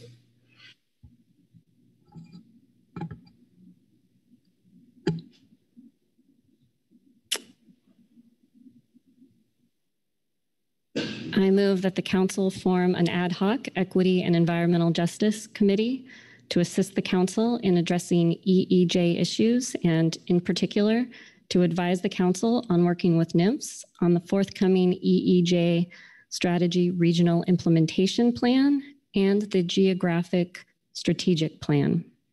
The group includes a tribal member, a member from each state, and a NMFS member, Mr. Joseph Oatman, Ms. Heather Hall, Ms. Christa Svensson, Mr. Virgil Moore, Ms. Corey Ridings, and a NMFS member. All right, I'll look for a second. Seconded by Christa Svensson. Um, Please speak to your motion. Um, I, actually, just a quick procedural question, Mr. Chair. Um, The language on the screen isn't quite correct. Do you want to do that technical correction now, or should I Yes, speak let's to the do motion that. first? Um, I thought it was, yeah, maybe I skipped that step or, That's okay. It was a very last minute addition, so. Uh, Sandra, just after, oh, there it is. The geographic strategic plan. It was um, in that third line at the end of the sentence. Thank you. okay. So now we, it moved by Corey, seconded by Christa. Please speak to your motion. Thank you. Um, we had a robust discussion under this agenda item earlier in the week. Um, a lot was said. I think there was a lot of issues brought forward. I think a lot of um, good thoughts, considerations. Uh, there's a lot of sort of sub issues under this, a lot of tentacles, and I think this would be helpful um, to get that going. Um, we discussed forming a group then, as we did in September. Um, specifically, uh, there's a need to have the council engagement with NMFS on the forthcoming regional implementation plan, as well as the geographic strategic plan, which includes EEJ as part of it. Um, to help ensure that the regional plan is well fitted for our coast, uh, take into account the council's responsibilities and pro- processes, and can help the council move forward with its EEJ efforts. Um, it was noted uh, to address issues such as equity and environmental justice, we need to be strategic and focused. And hopefully, working with NMFS on the regional strategy via this group can help us get us started in that direction. All right, thank you. I have one comment. Generally, appointments are made by the chair in consultation with the council. So this would constitute consultation with the council for the purpose of the appointments. Yeah, sorry about that if that was um, That's not fine. clear. Um, are- Is there any, are there any questions for the maker of the motion? Or discussion on the motion? Ryan Wulff, and then, Phil- and then Phil Anderson. Yeah, thank you, Chair. And I just want to um, thank Ms. Rogers for the motion and just note that uh, NMFS is fully supportive of this. This is very consistent with um, uh, the, you know, feedback, guidance, interactions we were looking for uh, with the council um, on both the regional implement implementation plan for the EJ strategy as well as the geographic strategic plan. Um, and I will be able to um, give a name to that NMFS member very, very shortly after this meeting. So thank you. Mr. Anderson? Yeah, I just wondered if you had, um, Corey, if you had some sense of, of how often this, this group would meet. Uh, I was wondering if there'd been any consultation with the executive director from a budget perspective, just to understand what the budget implications of this, having this group are, that would at, at least in part be informed by how often uh, this, you envision that this group would be meeting? Uh, Would they be in-person meetings? Would they be held in conjunction with council meetings or, or, you know, any, any of those types of details that you could provide would be helpful? Thanks, Mr. Anderson. Um, I did have discussions with uh, the council executive director and um, deputy director about this to try to get a feeling for workload. Um, as was stated during the uh, agenda item earlier in the week, you know, there are some concerns about that as well as some thoughts about potentially some creative partnerships down the road, um, funding from NMFS, other ways to get this work done. Um, to your question, um, in forming this group, I think that there would be the potential for some in-person meetings. I think your idea about having them in conjunction with council meetings is probably smart. Um, the exact structure, I don't know, and would continue to lean on council staff to make the best suggestions about how that was to happen. Bill? And maybe I c if I could, um, Mr. Chairman, just if I could ask uh, either um, Ms. Ames or Mr. Burden, if they um, have thought about what the uh, the implications from a staffing perspective are relative to the uh, council staff and their abil- and their capacity and ability to staff this ad hoc group. Merrick? Yes, thank you, Mr. Chairman, and uh, thank you for the discussion and for consideration of staffing, Phil. Um, as uh, Ms. Ridings did indicate, uh, we have had a couple of conversations about this throughout the week. Uh, of course, staffing is um, something that we are uh, always thinking about and concerned about. Um, everyone at the council office works at about 100 to 120 percent, it seems. Um, as we uh, consider this, uh, we would be intending to have Jim Seger to staff this committee um, for as long as he is available and uh, working with us. Um, what we have also discussed with Ms. Ridings is that um, this committee would have to think of itself as a as a working committee. Um, so I know a lot of committees will defer work to staff. Uh, we do not have much extra capacity uh, on staff to, to pick up some additional work, as I think everyone knows. But um, we would be looking to this committee to do uh, quite a bit of the legwork. Um, so I think I think that should address uh, your uh, staffing question, Phil. Um, and maybe just to rewind a little bit um, in regards to resources and when the committee would meet, uh, we did discuss essentially two models one, have the committee meeting during a council meeting and take advantage of uh, folks that are uh, in transit anyway. So we might think of that as, um, you know, akin to a LC or a BC meeting. Uh, have folks travel uh, the day before or two days before for that meeting.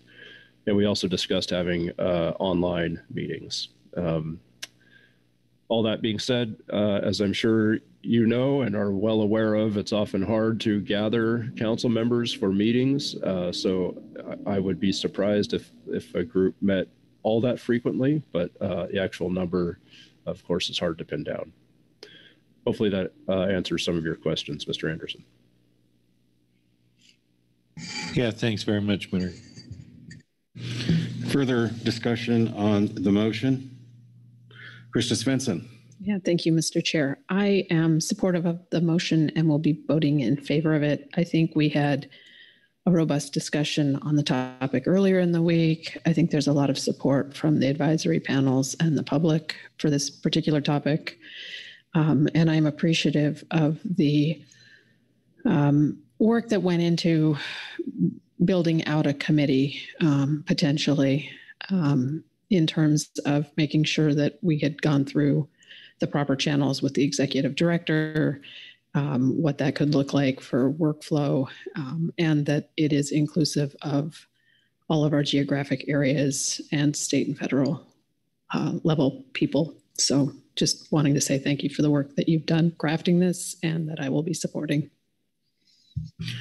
All right, thank you. Uh, Merrick, your hand is still up. And I saw Bob Dooley raise his hand. Bob. Yes, thank you, Mr. Chairman. Uh, I support this as well. I, I think it's, you know, it, it's needed. There's no doubt through all the conversations we've had. I think it's something we can do. The question I have, and this is probably for Merrick, um, is how much council floor time do you think this is going to take? Is this going to be something akin to the marine planning where we have every advisory panel weighing in and how many times a year do you think this will be in our uh, in, on our agenda? And I'm just trying to get a sense of how much this will uh, add to our our council workload as far as agenda time. So that that's it. Thank you. Merrick? Excuse me. Um, uh, thank you for the question, Bob. Uh, that's a very good question. A um, couple of things are coming to mind uh, in response. So, so one is, um, as I think everyone is aware, um, and I think you know, Ms. Ridings is uh, um, uh, specifically aware, given her expertise. Um, EEJ is a, a, very large topic, um, and uh, it has the potential to be very broad. Um, and this is something that uh, Mr. Ridings and uh, Ms. Ames and I spent some time talking about yesterday. And um, what we had envisioned in that conversation was, uh, well, one, to make sure that the council is giving clear specificity to the committee about what it wants the committee to work on um, so that the uh, committee is responding to the council's needs very specifically with that in mind, uh, that model should then help to control the time and expansiveness of this item on the council's agenda. That being said, um, as we look out into the future, um, so under the next agenda item that we'll take up, for instance, under workload planning, uh, we do have um, EEJ scheduled on the council's agenda coming up in September, I believe. So that would be in response to uh, the NMFS uh, EEJ strategy. And so there are a couple of ways to, to do this. One is we could treat it like uh, most of our agenda items and have our, all of our advisory bodies weigh in on it. I don't think that question is specific to this committee that's being contemplated right now. Um, so I, I think it's uh, that matter in and of itself will create its own agenda momentum or uh, time, if, if that makes sense. This committee uh, could uh, simplify things for the council. Uh, so this might be a question back to you all. Um, if we have this committee set up uh, as an advisor to the council, do we want the other advisory bodies not to weigh in uh, and, and defer to this committee entirely? That would be one question for you all as the council. Um, or does this committee add to what other advisory bodies might be commenting on uh, and if so, that would be you know more akin to what we see usually on our agendas.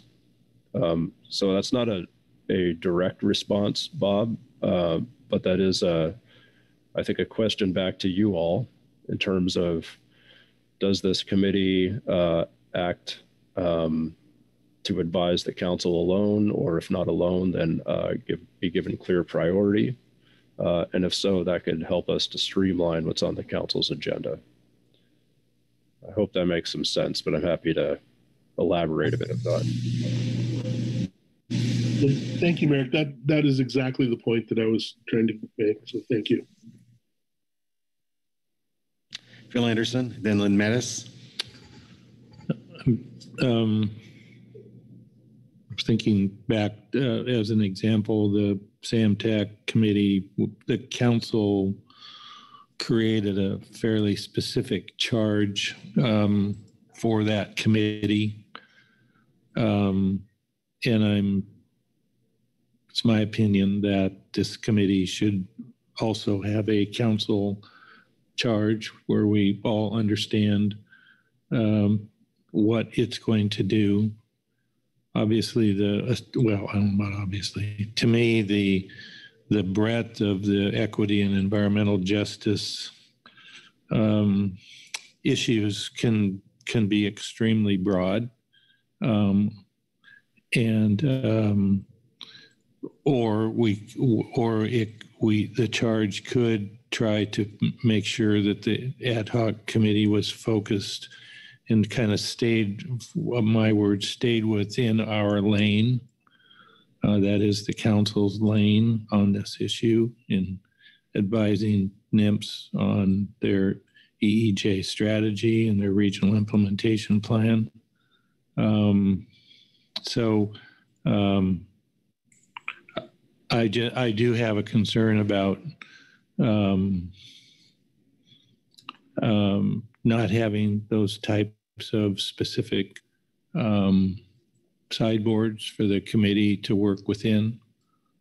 Um, so I, um, so I just would express that concern. the issue that Merrick brings forward is one that uh, um, I, I don't ever recall um, where we establish a committee and then we preclude other committees from engaging on the topic. That's a that's a new one on me and um, would be in my mind unprecedented. Um, so that that that is a concern if if if that's where we're headed. Um, so if you hear some reluctance in my comments to creating this committee without having some more of those specifics nailed down, uh, you are reading me right.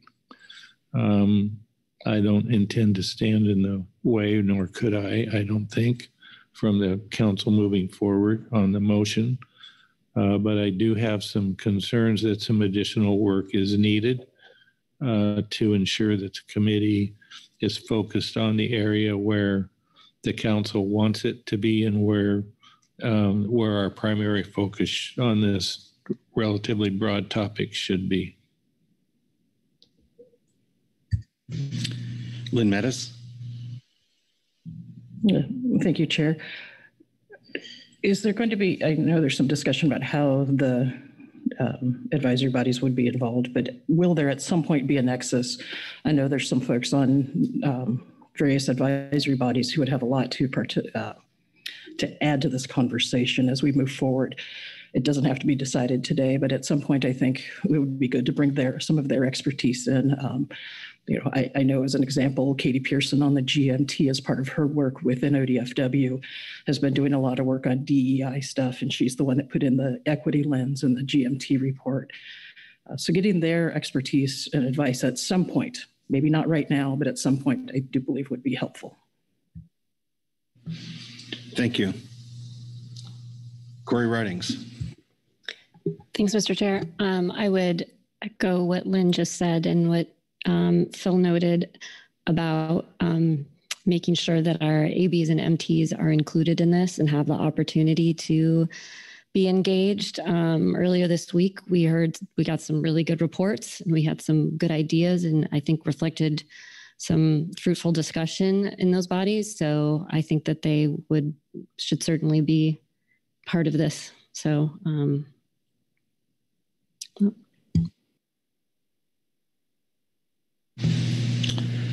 Looking for any further discussion on this agenda item, or rather on this motion?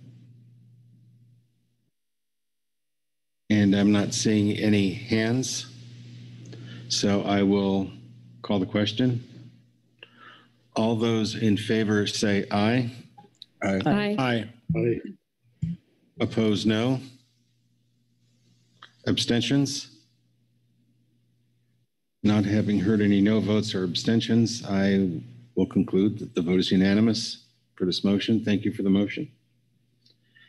Um, let me ask if there's further action on this agenda item.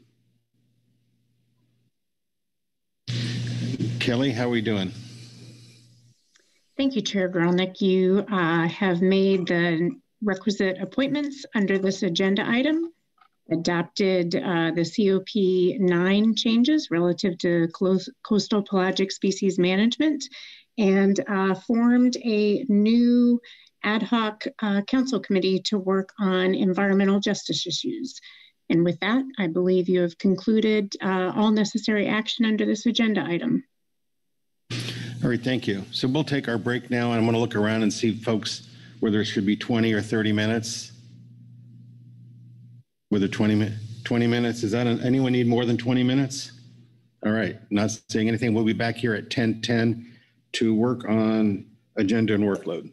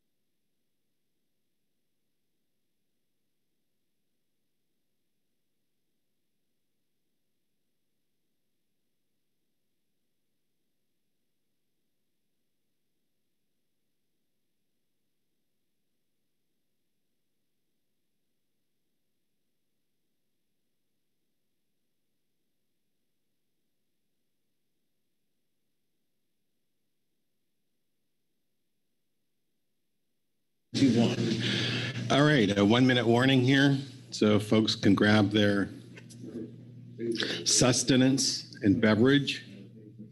Um,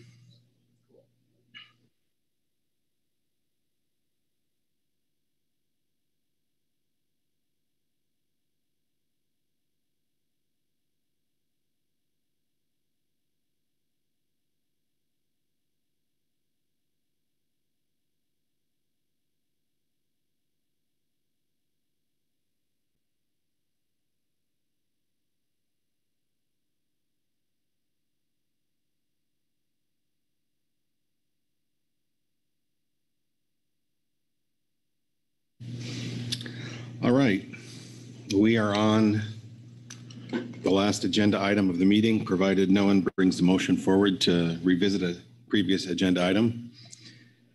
Um, F7, future council meeting agenda and workload. We have a number of reports, but I will first turn to Executive Director Merrick Burden to orient us. Okay, thank you, Mr. Chairman. Um, and orientation is a good word. It's uh, disorienting trying to do this from a hotel room, I'll just say. Um, but we'll do fine. Uh, let's see, this is agenda item F7, uh, which is future council meeting agenda and workload planning. So just as a quick overview, this agenda item is intended to refine general planning for future council meetings with a focus on finalizing the proposed agenda for the June 2023 council meeting in Vancouver. There are a few attachments that uh, I will uh, refer you to. Um, one uh, is attachment one, that is the preliminary year at a glance summary, also known as the YAG. Attachment two, the draft proposed council meeting agenda. But I would note that, as I mentioned uh, yesterday, at the end of the day, we do have two supplementals that have revised both of those. Hopefully, you've had a chance to review them. Um, if not, I will um, or I will walk you through them anyway here in a minute. Um, you also have a couple of additional uh, attachments. One of those is what's referred to as the council staff proposal on advisory body meeting formats. That is in response to some questions that we've heard and desires we've heard from advisory bodies about pinning down who is in person and who is uh, remote through the balance of the year. And then, as you uh, indicated, Mr. Chairman, we do have several um, advisory body reports. Uh, happy to take questions about the overview. Otherwise, uh, I would um, uh, take a few minutes to walk you through both the YAG and the uh, proposed council meeting agenda for June. But I will pause here briefly. Well, I'm not seeing any hands, so please continue. Okay, thank you. Uh, first, if you would like to pull up the uh, supplemental attachment five, that is the proposed Pacific Council meeting agenda for June. Uh, just to orient you to that, um, of course, what we do have, generally speaking, is a start. You'll see on Wednesday, June 21st, with many of our advisory bodies. Those advisory bodies that are bolded are proposed for in person. Uh, note we do have quite a few. Uh, the one that is uh, two rather, my apologies, that are remote are the SAS and SDT. And then moving forward, you can see how the different advisory bodies uh, change and who goes remote uh, and who stays in person. Uh, the underline uh, that you see in that case for the enforcement consultants that refer- that represents a change for what was in the um, the uh, advanced briefing book materials. Now, if you go across the main council agenda, a couple of things that I will flag for you. Uh, one, the June agenda does seem to be settling out uh, fairly well. Uh, a couple of things of note, however. One is uh, we've proposed to strike the workload and new management measures item under H6. Uh, two, you'll see that the SRFC and KRFC conservation objectives has been unshaded. Um, and we're titling the gear switching matter the initial PPA, which was the concept that was discussed uh, yesterday. Um, instead of a single PPA, we'll strive for essentially PPA 1 and PPA 2, with PPA 1 coming up in June. Um, now, if you would like to turn over to uh, supplemental attachment four, so I'm doing this a little bit backwards, but I think this is the best way to orient yourself. Uh, this is the supplemental um, preliminary year at a glance summary. And so a few things to highlight here that have changed since uh, what was in your uh, advanced briefing book. Uh, one is uh, June is fairly well stabilized. A couple of matters that um, I've already highlighted by going through the June agenda here a minute ago. If we go to September, one thing you'll note is under salmon, uh, we have had uh, the desire to clarify some aspects of the salmon FMP around the southern resident killer whale. Uh, that FMP clarification language concerns uh, clarification of essentially roles and responsibilities between the SSC and the SDT and others um, about the threshold calculation. Uh, it's not a policy question, just a question of who does what and when. Um, and then if you go to the bottom, we have added the regional implementation plan for the equity environmental justice matter that uh, is working on and that we talked about here a few minutes ago under the prior agenda item. Uh, if we go to November, uh, what you see there is sablefish gear switching is slated for the second step of the PPA uh, that had been originally the FPA, uh, the second step of the PPA scheduled for November. And then you'll see, just based on how things are proceeding on our research and data needs effort, uh, we've gone ahead and proposed striking that for November. Uh, we don't foresee that being ready at that time. And we've moved that over to, uh, we've started to move both of those, sorry, over to March. So both of those referring to September and November, and instead we're proposing picking this up in March. Also in March, then we are aiming for uh, Sablefish gear switching FPA in March of next year.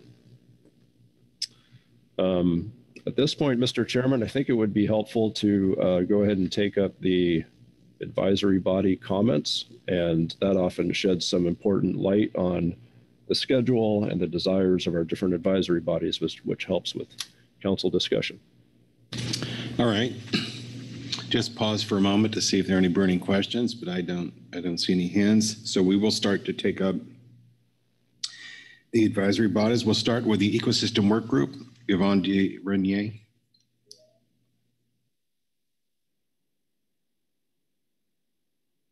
Good morning, Mr. Chair, members of the council. Thank you for your patience with me as I went through various unmutings. So, uh, the ecosystem work group, I'll be working from EWG report one under agenda item F7A, the ecosystem work group report on future council meeting agenda and workload planning. So I will just start by saying that the ecosystem work group submitted this report to the advanced briefing book, and that kind of uh, turned out to not be helpful in this instance because we were um, behind on what was going to be in the draft June uh, agenda based on what we had heard from agenda item H2 at the last meeting. So with that, members of the ecosystem work group listened to the council's meeting planning discussion during the March 2023 meeting and noted the question of whether a standalone agenda item would be needed at either the June or September 2023 council meetings to discuss possible workshops hosted by the Nature Conservancy per their offer at the March meeting in support of Fishery Ecosystem Plan Initiative 4. After listening to council discussion and conferring by email, the EWG does not believe a standalone agenda item to scope workshops is necessary for the June council meeting. If the council is interested in an update from our May 15 and 17 meeting, the EWG could submit a short report under their workload planning agenda item in June. This would allow the council to consider the Nature Conservancy's request for the council to commit to participating in or co-sponsoring the workshops and to discuss the council workload associated with the workshops and the schedule of when they might occur. If the council is not interested in receiving a June EWG report, we would report out on our May meeting under the ecosystem agenda item already scheduled for September. Also, The National Marine Fisheries Service noted in March that federal staff participating in the council process cannot receive travel support from the council or other outside sources and would most likely not be available to participate in these workshops before September 30th. For this and other reasons, for example, stock assessment review panels for groundfish assessments happening over the summer, if the council decides to participate in or co-sponsor the suggested workshops, the EWG would prefer that the workshops be held after September. And so uh, we had discussed supplying a supplemental report, and I was urged to extemporize instead. Um, the change that uh, happened between our submission of that report and the um, the council's arrival to the council meeting was that the June agenda, draft June agenda now says an FEP initiative update, which uh, is different from what they had proposed at the March meeting, which was a discussion of the possibility of TNC workshops. So I will just say that um, we are equally not in favor of a full initiative update in June.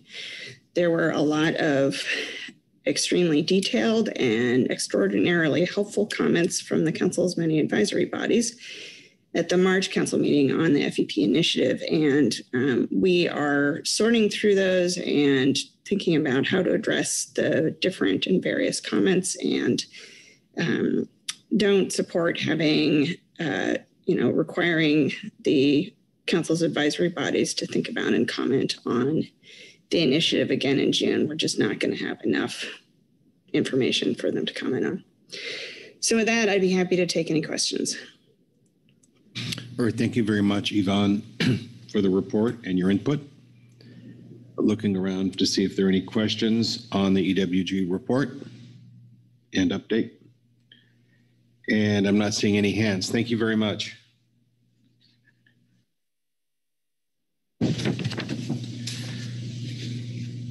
We'll hear now from the groundfish management team, Whitney Roberts.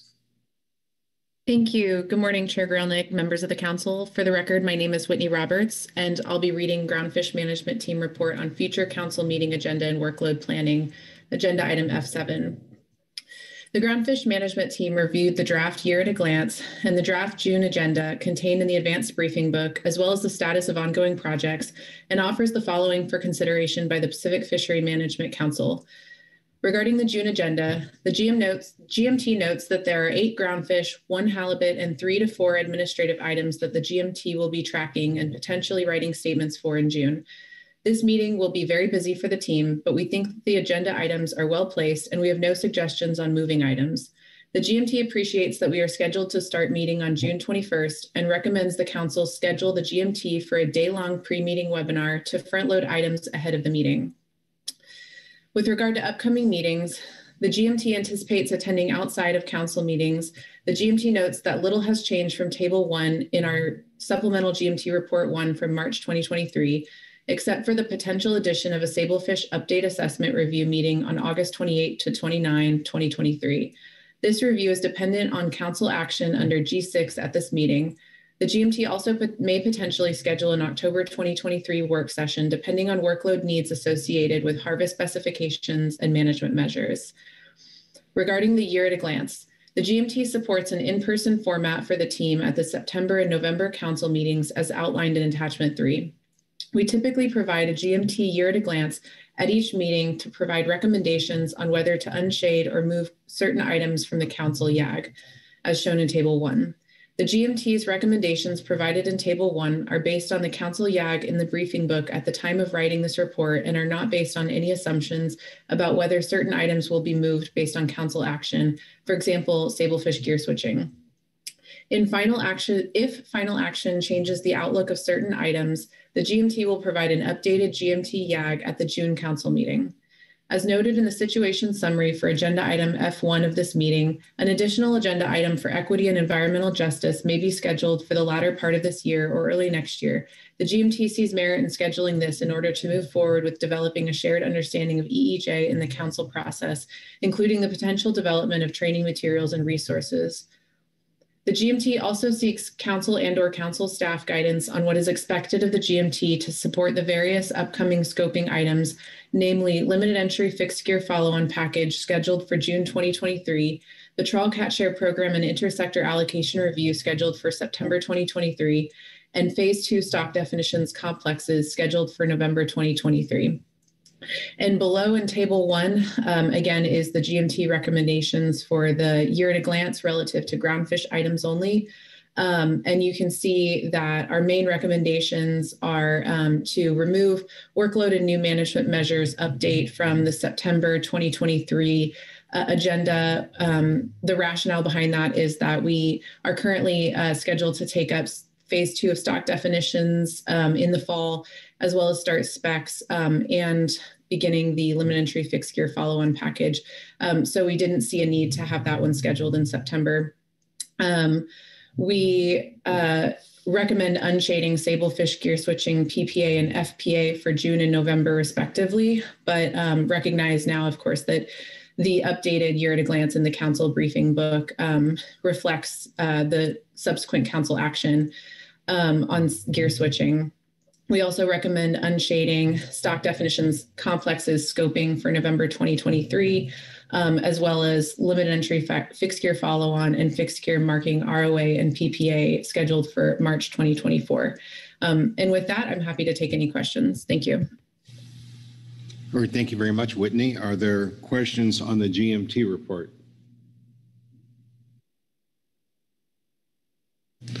Well, thank you for the detailed report and detailed suggestions, but I'm not seeing any hands here, so thank you, Whitney. we'll now have the SSC, and we'll invite back up Jason Schaffler.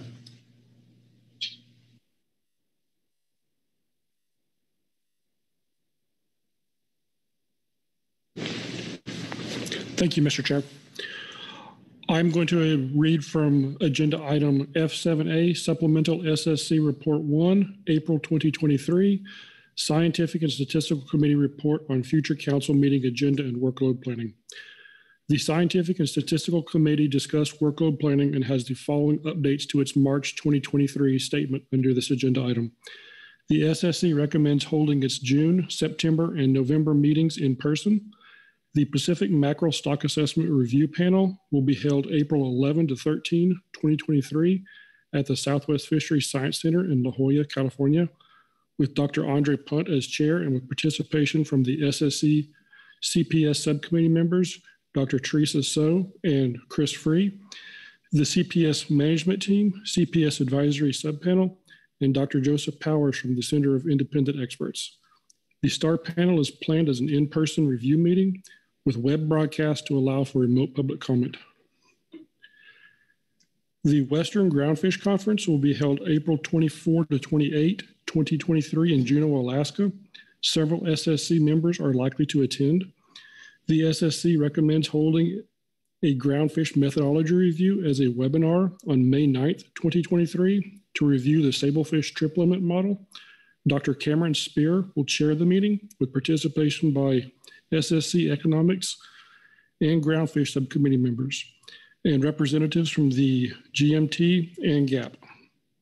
The SSC Economics Subcommittee recommends holding a meeting to review the comparative cost study for the West Coast Groundfish Trawl Catch Share Program on May 11th, 2023 as a webinar. Dr. Cameron Speir will chair the meeting with participation by the SSC Economic Subcommittee members and the council's consultant, Daryl Brannan.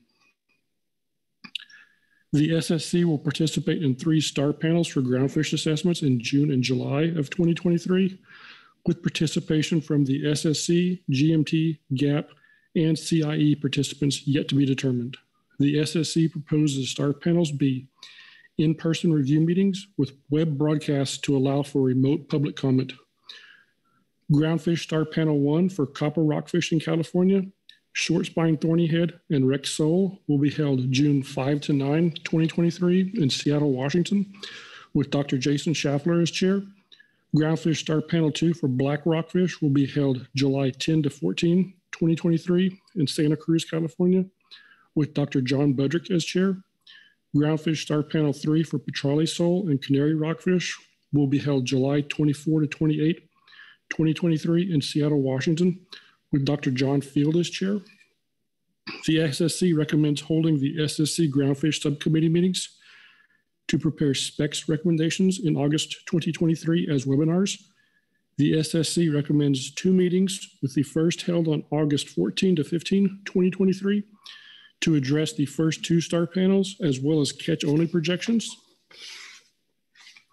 And the second on August 28 to 29, 2023, to address the third star panel and any outstanding items, including the potential sablefish assessment update, both with participation from the groundfish subcommittee members and representatives from the GMT and GAP.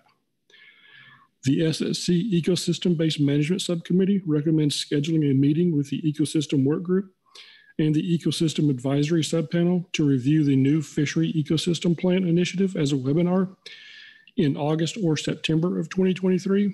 The SSC will participate in the Groundfish Mop-Up Panel, if needed, September 25 to 29, 2023, at a place to be determined with participation from the Groundfish Subcommittee members, the GMT, and GAP.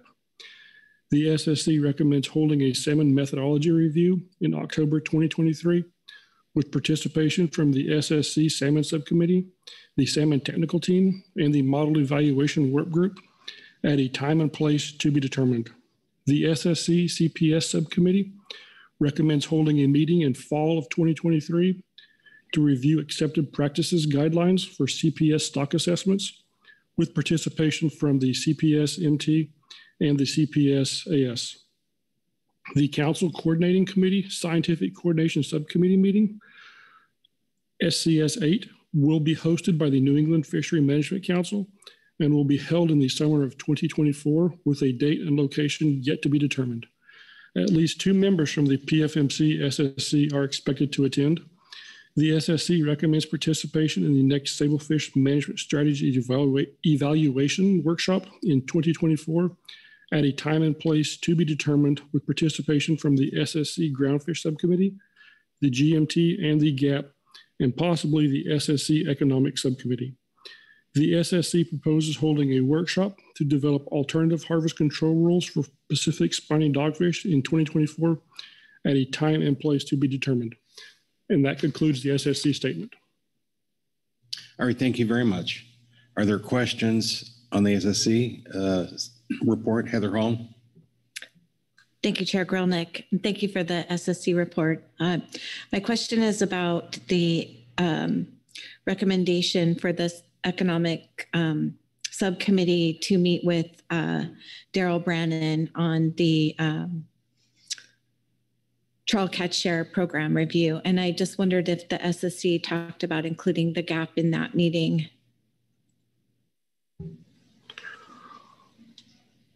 I don't recall if the gap was included, but we would welcome the gap's participation.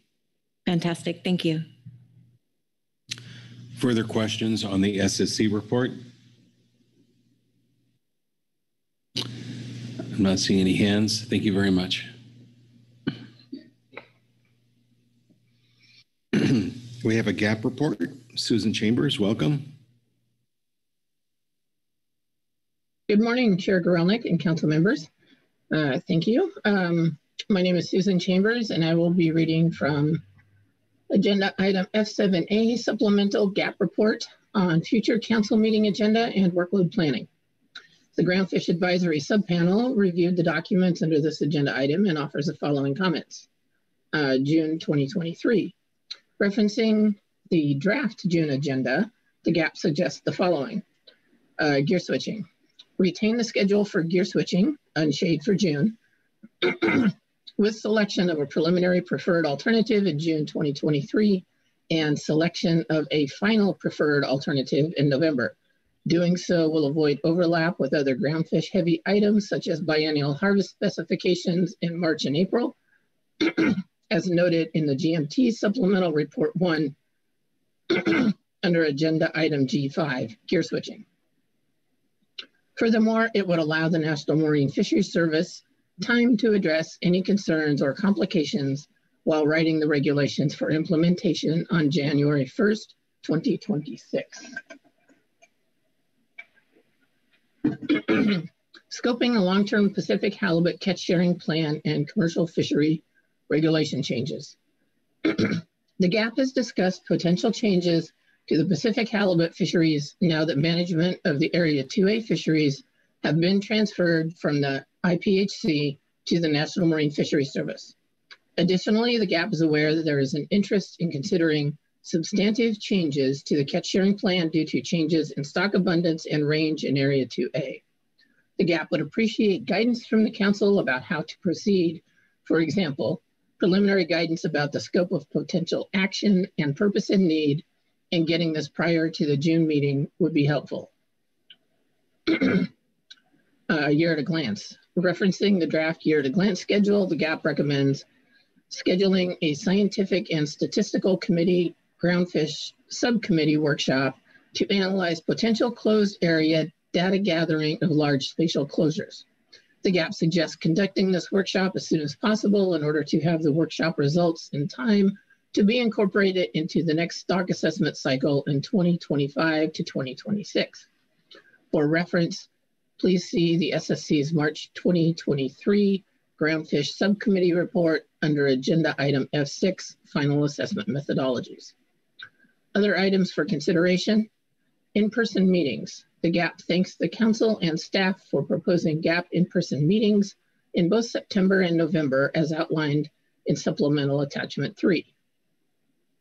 As the GAP is noted under prior agenda items, meeting in person is preferable and creates better interpersonal communications, especially when discussing complex or difficult topics. I would like to note that our statement was uh, produced prior to the supplemental June agenda and year at a glance schedules uh, in the briefing book. So our some of our recommendations may be out of date pending, you know, council discussion, especially on gear switching. And uh, one last comment, since this is the last agenda item of the day, the GAP would like to thank Dr. Braby for her work on furthering fisheries management uh, based on science as part of her work on the council. And Mr. Chair, with that, uh, that concludes my report and I'm happy to take any questions. All right, thank you very much, Susan, for the report. I have a hand, Carolyn McKnight. Thank you, Mr. Chairman. Um, thank you, Susan, for the, the report. Just one question relative to the um, long-term Pacific halibut catch sharing plan section in the GAP report. Um, the last sentence uh, is looking for some council guidance to how to proceed to scope some action. And I just wanted to clarify if that last sentence was suggesting a, a pre June webinar uh, discussion, like a formal discussion, or and what what venue or vehicle were you looking for the guidance um, in in anticipation of June? Did you have any discussion about that?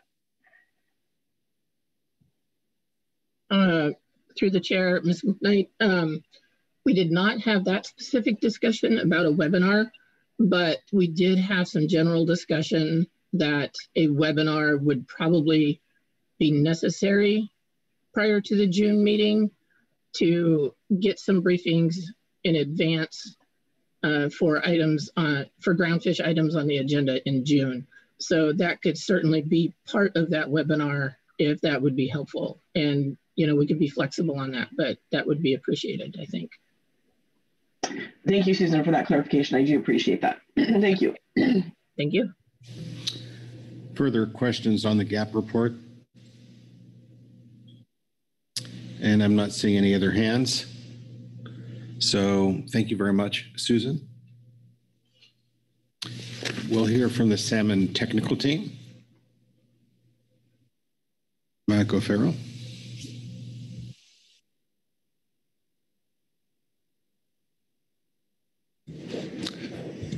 Thank you, Mr. Chairman, council members. I'll be referring to agenda item F7A, STT report on workload planning. The STT discussed future workload here at the April uh, Pacific Council meeting and reviewed the preliminary year at a glance and a summary of potential STT work for the year um, follows in this statement. Uh, number one, conservation objectives. The STT anticipates participation in work associated with development of new conservation objectives for Sacramento and Klamath Falls Chinook. The meeting schedules and workload associated with these efforts will become more defined following the June 2023 council meeting. However, it's likely that STT participation in a Klamath River Fall Chinook interim conservation objective for a period following dam removal will begin shortly after June, the June meeting, given that interim goals would be needed for the 2024 fishery planning process. Next one is uh, Sacramento River Fall Chinook age, age structured assessment. An agenda item on the on Sacramento Fall Chinook age structured assessment is on the year at a glance for the June 2023 council meeting. The development of an age structure assessment has been identified as a priority for some time, and the STT would be interested in further discussion on the prioritization level of this work. Rebuilding plans. Queets River Spring Summer Chinook uh, meet the criteria for overfish status in 2023, and the STT anticipates several meetings and work associated with the development of the rebuilding plan, which is required to be completed within a year from the stock being declared overfished by NMFS. Additionally, Sacramento River Fall Chinook are currently at risk of approaching an overfished condition and may require the development of a rebuilding plan in 2024 methodology review. Five salmon methodology review topics were identified by the STT, SSC, and MEW. The council gave guidance to bring each of those topics to the October methodology review meeting, acknowledging that a progress report on these five projects will occur at the September 2023 council meeting. The STT has primary or secondary responsibility for developing four of the methodology review items. Coho. The STT and MEW developed a scoping document in September 2022 on potential improvements for forecasting ocean fishery exploitation rates. The list of projects was tiered by uh, one, work that could be completed now given existing information, two, further work that could be taken up after uh, the projects uh, just described, and three, projects that would be that would need additional data before they could be undertaken. Council discussed the scoping document at this meeting, but no tasks were assigned to the STT. This topic could come up again at the June 2023 meeting, and there may be additional SONC tasks for the STT later in the year. Amending the uh, salmon FMP. The STT anticipates a potential amendment to the salmon FMP to clarify southern resident killer whale language. The STT is also interested in taking some time to review the current FMP and provide housekeeping edits where needed. Pacific Salmon Commission uh, um, obligations. Some members of the STT have obligations within the PSC process.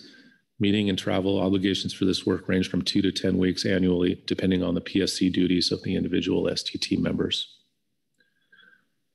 And development of preseason reports. The STT will be developing stock assessment of fishery evaluation document for the FMP, also known as the review of ocean fisheries and three additional reports that constitute the environmental assessment for the annual ocean salmon fishery regulations from January through April on an annual basis. That completes the uh, STT statement. All right, thank you, Mike. Are there questions of Mike? Uh, Merrick Burden has his hand up, and then Vice Chair Hassemer. Merrick?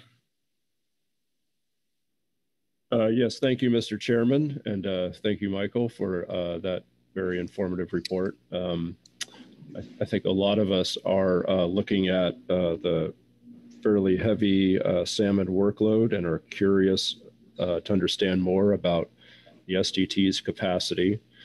Um, and so, in your statement, there are a couple of things that come to light right away um, as I go down it. One, if I look at the SRFC age structured assessment, the STT um, indicates you would be interested in further discussion on the prioritization level of this work. So that raises a question for me, which is uh, whether the STT is trying to flag for the council that you are coming to the edge of your capacity here and uh, you would like the council to uh, discuss uh, prioritizing this in relation to others uh, and perhaps even moving it. Uh, I may be reading between the lines there, but that's that's a question for you. And then the related question is if this were to remain on the June agenda, uh, what does the STT imagine it could take up between now and then? So hopefully that question is clear enough. Thank you, Mr. Burden. I kind of halfway forgot your first question, um, I think, uh, but I, I, will just say about this this topic. The STT has um, discussed this, um, in particular, the California folks on the STT, um, for some time, and there's been a desire to do this um, almost, you know, since we developed the Sacramento Index in 2008. Um, and it's just it, it just hasn't risen to the top quite yet and there, there's there's some reason for that. There's capacity and workload issues within the STT and with with you know in my office and uh, as well as uh, uh, with the state of California. And so I, am not sure if that's um, helpful. Um, and for the second part of your question, um, I'm sorry, I, am going to need a little help with this. What the second part of your question was? Um, sure. Yeah, happy to clarify. Uh, thinking about the time between now and June, um, if the STT were to uh, have this on your agenda in June, what do you imagine you would be able to do between now and that time? Thank you for the clarification. Yes, uh, I think there's, uh, the, we would probably be limited to trying to figure out what it would take, whether the data are sufficient to um, do this work right now and uh, some uh, discussions about how we would be able to implement this on an annual basis should the work actually be done to um, you know do the coding of a, an age structured assessment. I think that's probably um, the limit of what we could do before june.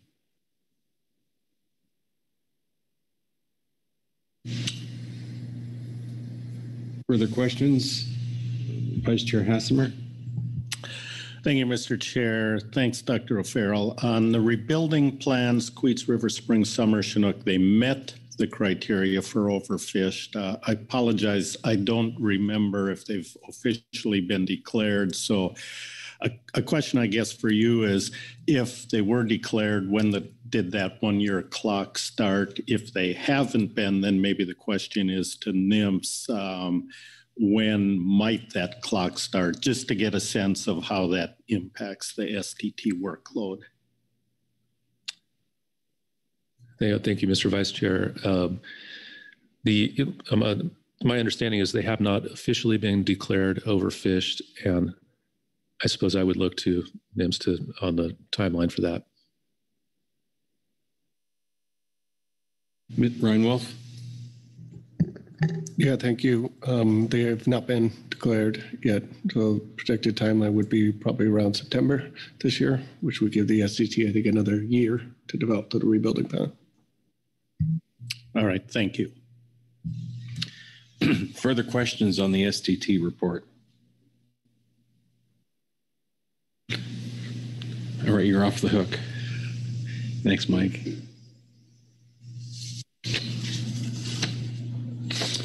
Uh, we have one more report, the Habitat Committee.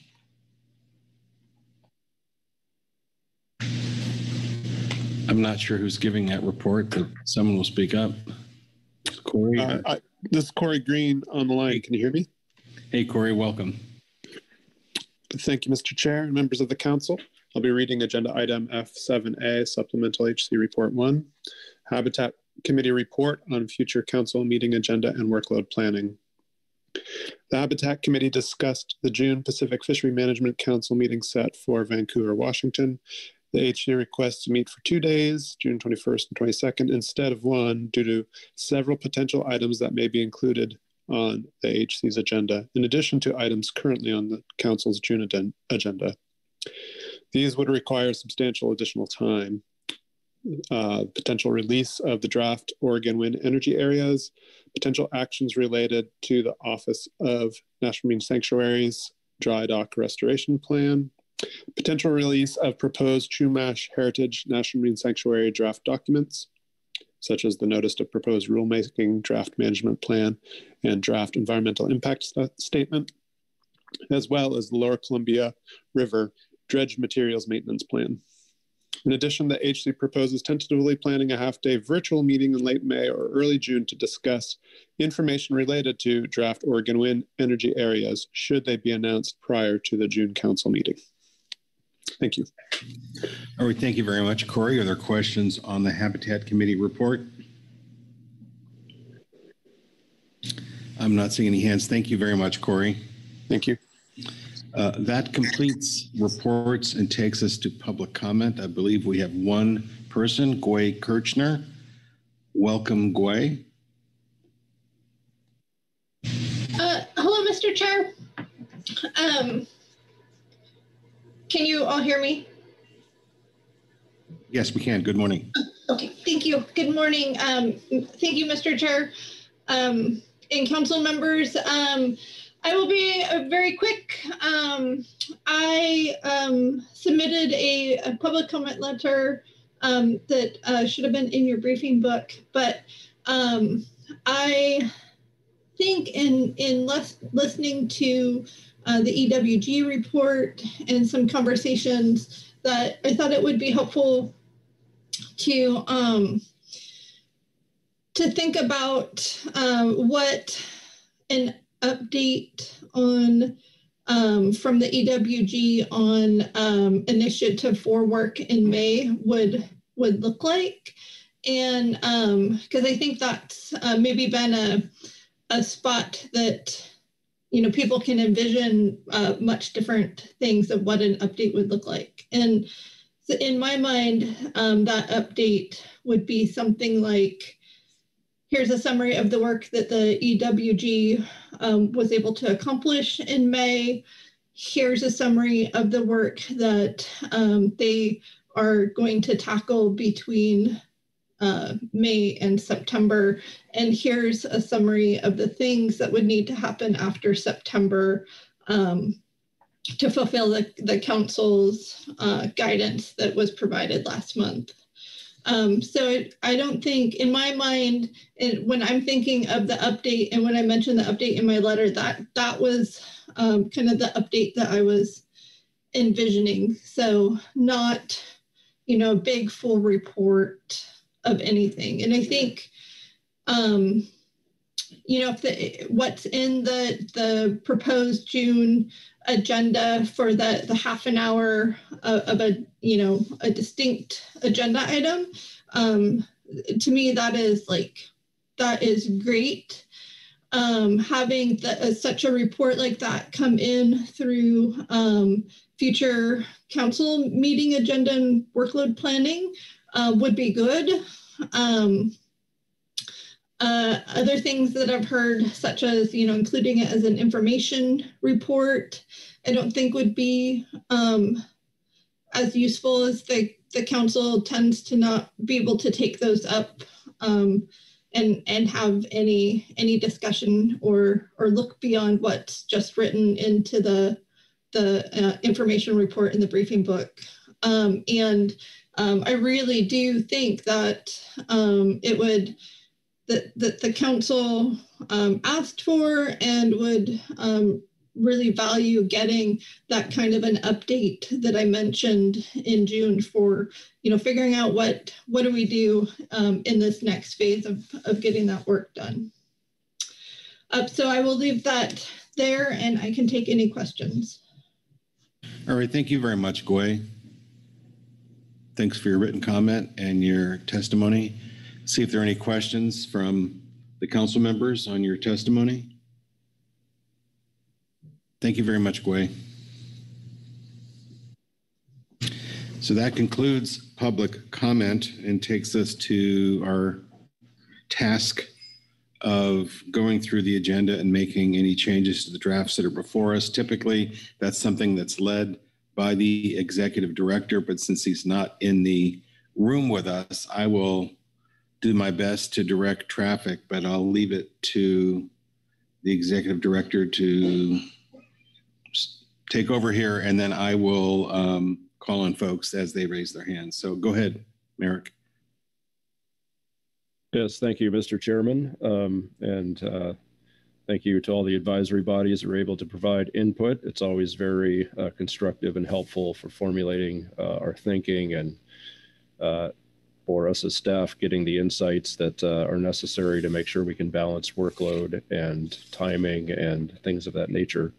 um, maybe just a couple of things to help reorient you all before we uh, have a discussion here. Um, so first, just to reorient you to the uh, June agenda. Um, starting off on Wednesday, uh, we do have a variety of um, advisory bodies beginning to meet. Uh, we did hear from the Habitat Committee that they would prefer to have two days. Um, and so that would mean adding a meeting for them on Thursday. Uh, I believe that can be accommodated um, if the council desires that.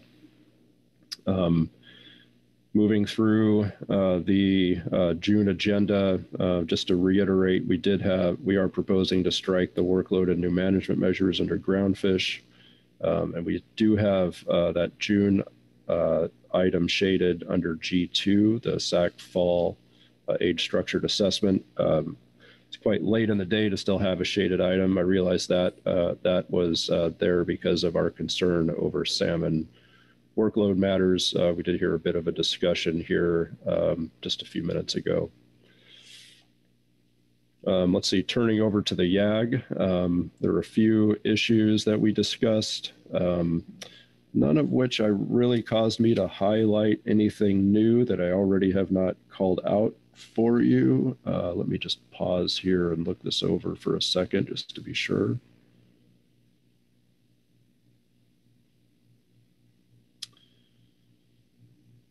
The one thing to potentially note is that in June, um, we do have some uncertainty around the marine planning item uh, and discussions that uh, Kerry Griffin and I have had with BOEM.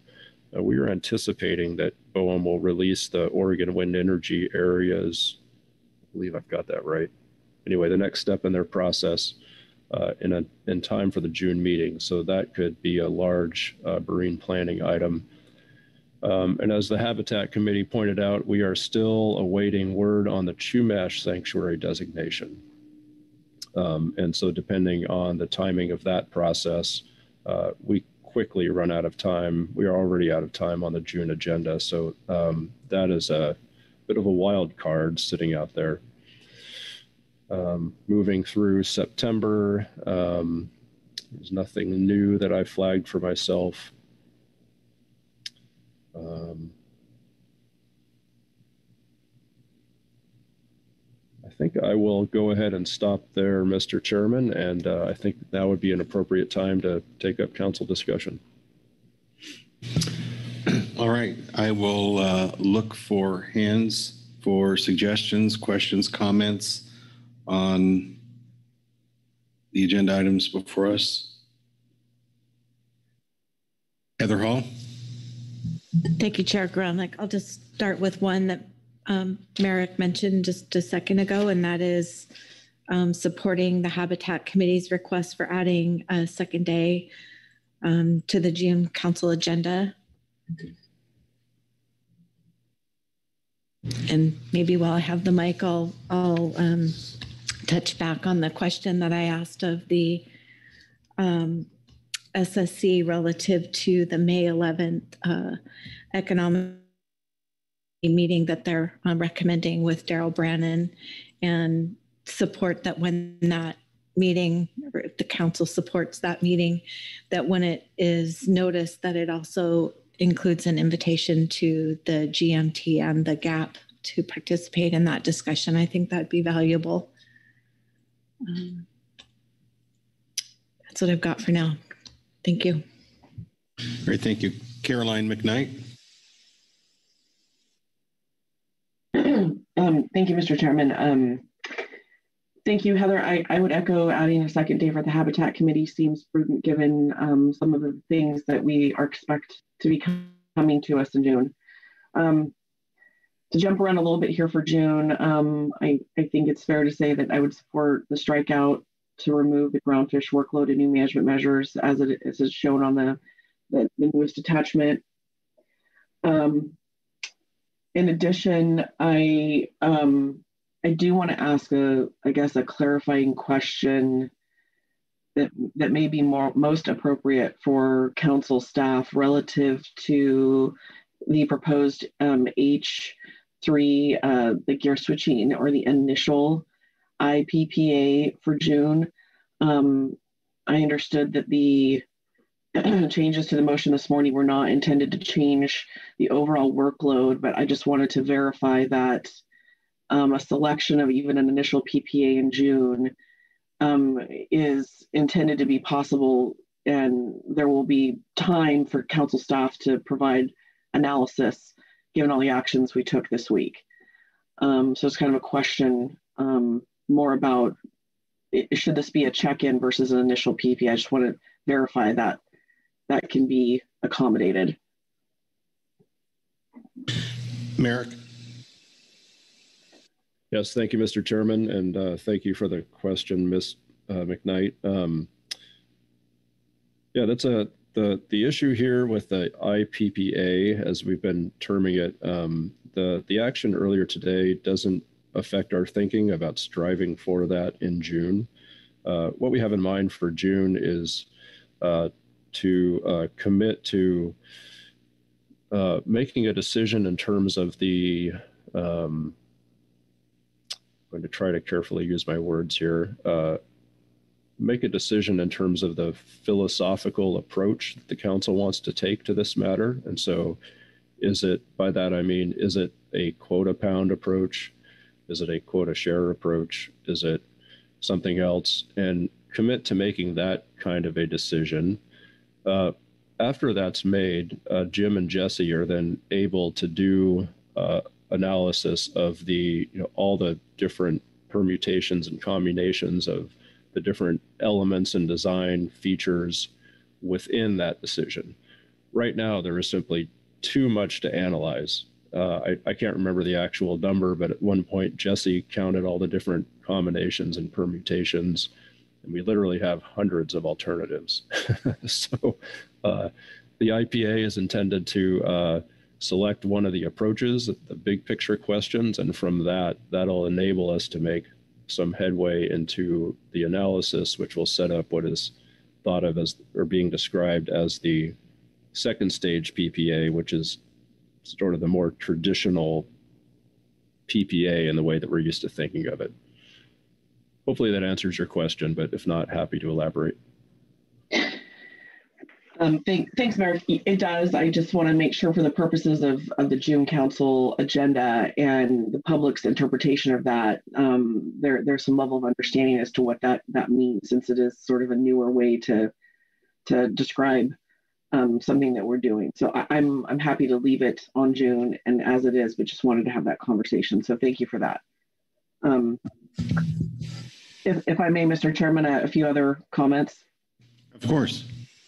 Thank you. Um, just a few other observations across the June agenda. Um, I'd be supportive um, in line with the EWG's recommendations to remove the uh, FEP Initiative 4 update um, to a later time um, when they can participate effectively. Um, I, I, would be supportive of that given all of their, their comments. Um, and then relative to G2, the Sac River Fall um, age structured assessment being shaded, um, I, I, definitely uh, appreciated the conversation with the STT and the STT report um, that shows that there are some limitation in time um, availability for the STT and noting that there are some um, noted workload constraints um, I, I, would be supportive of removing that item as well from the June agenda. Um, I think I'll I'll pause there and and see if there's other comments. But thank you. All right, thank you, Caroline. Uh, Heather Hall, and then Lynn Mattes. Thank you. Um, I just wanted to um, allow, or build on the discussion that Caroline started relative to the ecosystem working group and there not being a need for a standalone agenda item, but I, I want to um, match that up with what we heard from TNC and GWEI and their need to have some some input from that May webinar uh, that the system working group and I think I've heard both um, GWEI and Yvonne say they could provide an update. Uh, it didn't necessarily need to be under its own agenda item, but if that could be provided maybe under future council meeting and agenda workload planning, um, that would give TNC what they needed to plan for these uh, fall webinars. So I want to make sure that if if folks want to remove that agenda item, that we still leave room for that input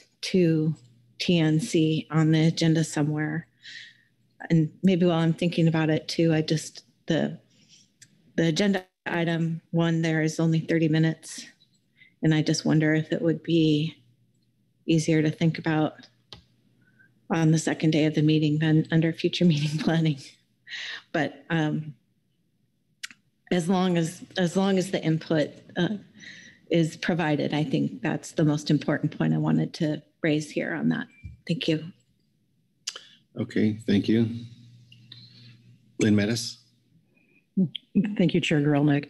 Uh, Heather hit on what I was going to respond to on the ecosystem work group report. I think uh, there's a desire that we do get some feedback somewhere, and it seemed like the good compromise might be the workload planning. Additionally, um, I have received a message from Dr. Braby that two and a half hours for marine planning in June is probably a minimum. I'm sure we can eat up that extra half hour on the 23rd with marine planning. Yes, we've also expanded day last, but uh, Merrick Burden. Yes, thank you, Mr. Chairman. Um, thinking specifically here about um, the ecosystem FEP EWG update. Um, I am I'm sitting here trying to uh, trying to think through how to accommodate uh, what both Heather and Lynn mentioned about uh, trying to accommodate the TNC request for future guidance. I, I would find it, um, I think, a little bit awkward to take an ecosystem report on, well, let me back up. Um, what I would envision for the EWG update is an update on their May webinars that are being planned. Um, I would find it a little awkward to take that up under future council meeting planning. I would propose that if the EWG is capable of doing this, that a short informational report is provided, and then we can reference that when we take up future council meeting planning uh, and we talk about the TNC workshops and things of that nature. I just I can anticipate that if we have a EWG report on May webinars under future council meeting planning, that that that creates a different kind of discussion than the one that we're looking to have under that agenda item. Um, but I do think if we prime our future council meeting agenda planning discussion with that informational report, we're better able to talk about how to integrate with the TNC workshop proposal hopefully that makes some sense. Okay. Um, Caroline, your hand is up.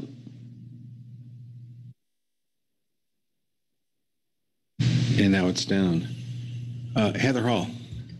Thank you, uh, Chair Gorelnik, and thank you, Merrick. I that makes sense to me. I want to um, just appreciate um, the ecosystem working group saying it's too soon for a full initiative update and um, appreciate the TNC's guidance on just a brief summary from the May webinar, the work that's coming up over the summer, and then what would happen after September is what they need to, to get their work done. So that narrow focused report sounds great to me. Thank you. Sounds like a good solution. Lynn Mattes. Uh, on a slightly different topic, unless. Yeah, I think we should move on to a different topic. Unless Corey, I think maybe is trying to get our attention to on this topic. I'm sorry. Corey.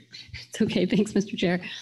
Um, I just wanted to briefly speak to this before we move on. Um, I appreciate the conversation, agree with what's been said. Um, I do have some concerns. Um, I, I heard Merrick talk about this being um, you know, in response to the webinars as opposed to sort of an initiative for update, which I, I agree with. Um, it was my understanding that we would potentially get some feedback on what happened at those webinars, and there'd be an option for the council and the advisory body to provide some input uh, to help kind of design and help prioritize the rest of work that goes on over the rest of the summer. So there may be some additional value. Um, my understanding of an informational report is that there just wouldn't be that opportunity for for feedback. Um, but I might be incorrect on that. Just trying to reflect on thinking about we just don't want to put too much under workload planning. Um, trying to be respectful of that. Merrick Burden. Uh, yes, thank you, Mr. Chairman, and uh, thank you, Corey, for the question. Um, I, I, I, believe, uh, Ms. Ridings, your question gets back to um, the discussion in March and the original rationale for putting this on the agenda as its own designated item. Um, and so, as I rewind my memory back to that time, uh, there was some discussion about having a 30 minute update to the council um, that was fairly narrow and would allow for a, a, bit of a discussion, but there was a desire to keep it um, tight. And um, that that would then provide some uh, understanding that would make its way into um, future council meeting agenda and workload planning. Um, you're correct. If we do have this as an informational report, that exchange, uh, the opportunity for exchange is not there. Um, uh, however, I, I still remain uh, concerned about having that report come forward and the exchange come forward under C8 on the last day of the council meeting.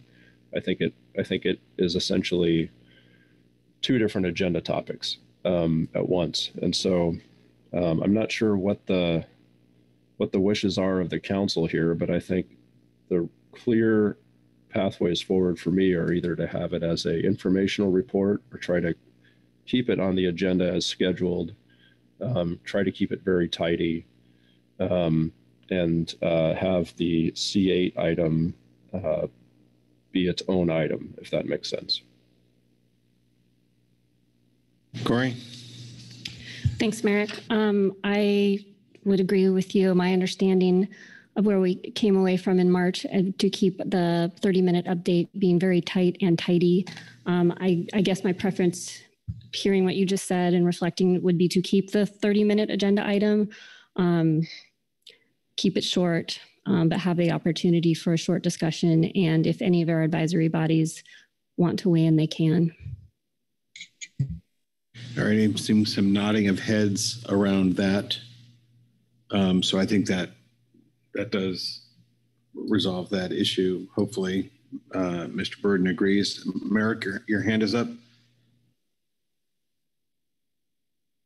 Uh, thank you, Mr. Chairman. I meant to put it down, but I can't see the head nodding. So uh, what I'm taking away is that um, the council would like to retain the FEP initiative EWG update on Friday for 30 minutes. We'd have a brief, what I would imagine is a brief summary from uh, the EWG uh, in the briefing book on that matter. And um, I don't anticipate the EWG going around to all the advisory bodies, but uh, the advisory bodies would be welcome to offer up any comments if they have them.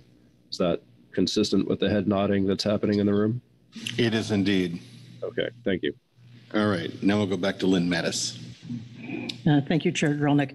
Uh, this is in regards to something else Ms. McKnight brought up about the SRFC age structured assessment. And I apologize, I don't speak salmon, so I'm not fully sure what that means. But um, a message I got from John North was that Oregon doesn't see a need to have G2 on the June agenda, since our understanding is that it is too early to have an informed discussion on this topic.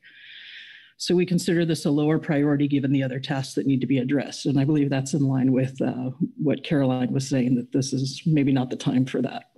Thank you. All right, so let's drill down on that. Ryan Wulff. Yeah, thanks. Um, to that point, I understand that and and are okay if you want to remove this from the agenda. But but I do want to note um, this task has been repeatedly noted by the STT and the SSC is important. Was a foundational recommendation in the last rebuilding plan um, related to improvements in our understanding of the stock and the development of improved forecasting and management tools. So I would hope that um, if you remove that as its own individual agenda item, that you could still have some sort of discussion on this uh, in what is the previous agenda item? So G1, um, as you're relating to the the, the Fall Chinook, um, the Sacramento River Fall conservation objective scoping, uh, and at least have some discussions there, including um, how it might be considered if there is a work group created that's that's focused on the conservation objective or any um, technical forum that might precede that effort. I, I, do think there is some overlap there. So hopefully there could be at least some discussion as it's related to the conservation objective in G1 if you remove G2.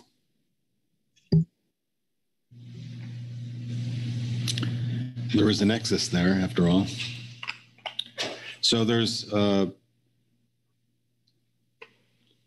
what about G2? It seems like there's an there's an interest in removing it, but not abandoning the topic altogether.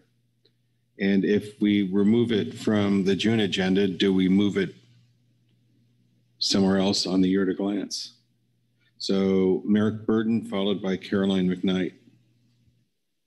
Yes, thank you, Mr. Chairman. Um, I think it would be helpful, uh, it might be helpful for the council if I outlined what how I see G1 proceeding after June. And so as we discussed the other day, excuse me, um, we will be coming back uh, to the council with a, a paper that we'll work on with NMFS and CDFW about these conservation objectives. And I think there is uh, a very high probability that we will want to treat SRFC and KRFC as two distinct agenda items going forward after June. Just the nature of the conservation questions between the two are very different. Uh, when we think of it that way, I think Mr. Wulff's comment here a minute ago uh, is uh, very pertinent, and that we would be thinking about the SRFC um, conservation objectives and the scoping of it and the development of it as incorporating perhaps the age structured assessment effort. So I can see those two coming together after we get through June. Uh, and as I look into my murky crystal ball, that's what becomes apparent to me, and maybe that helps.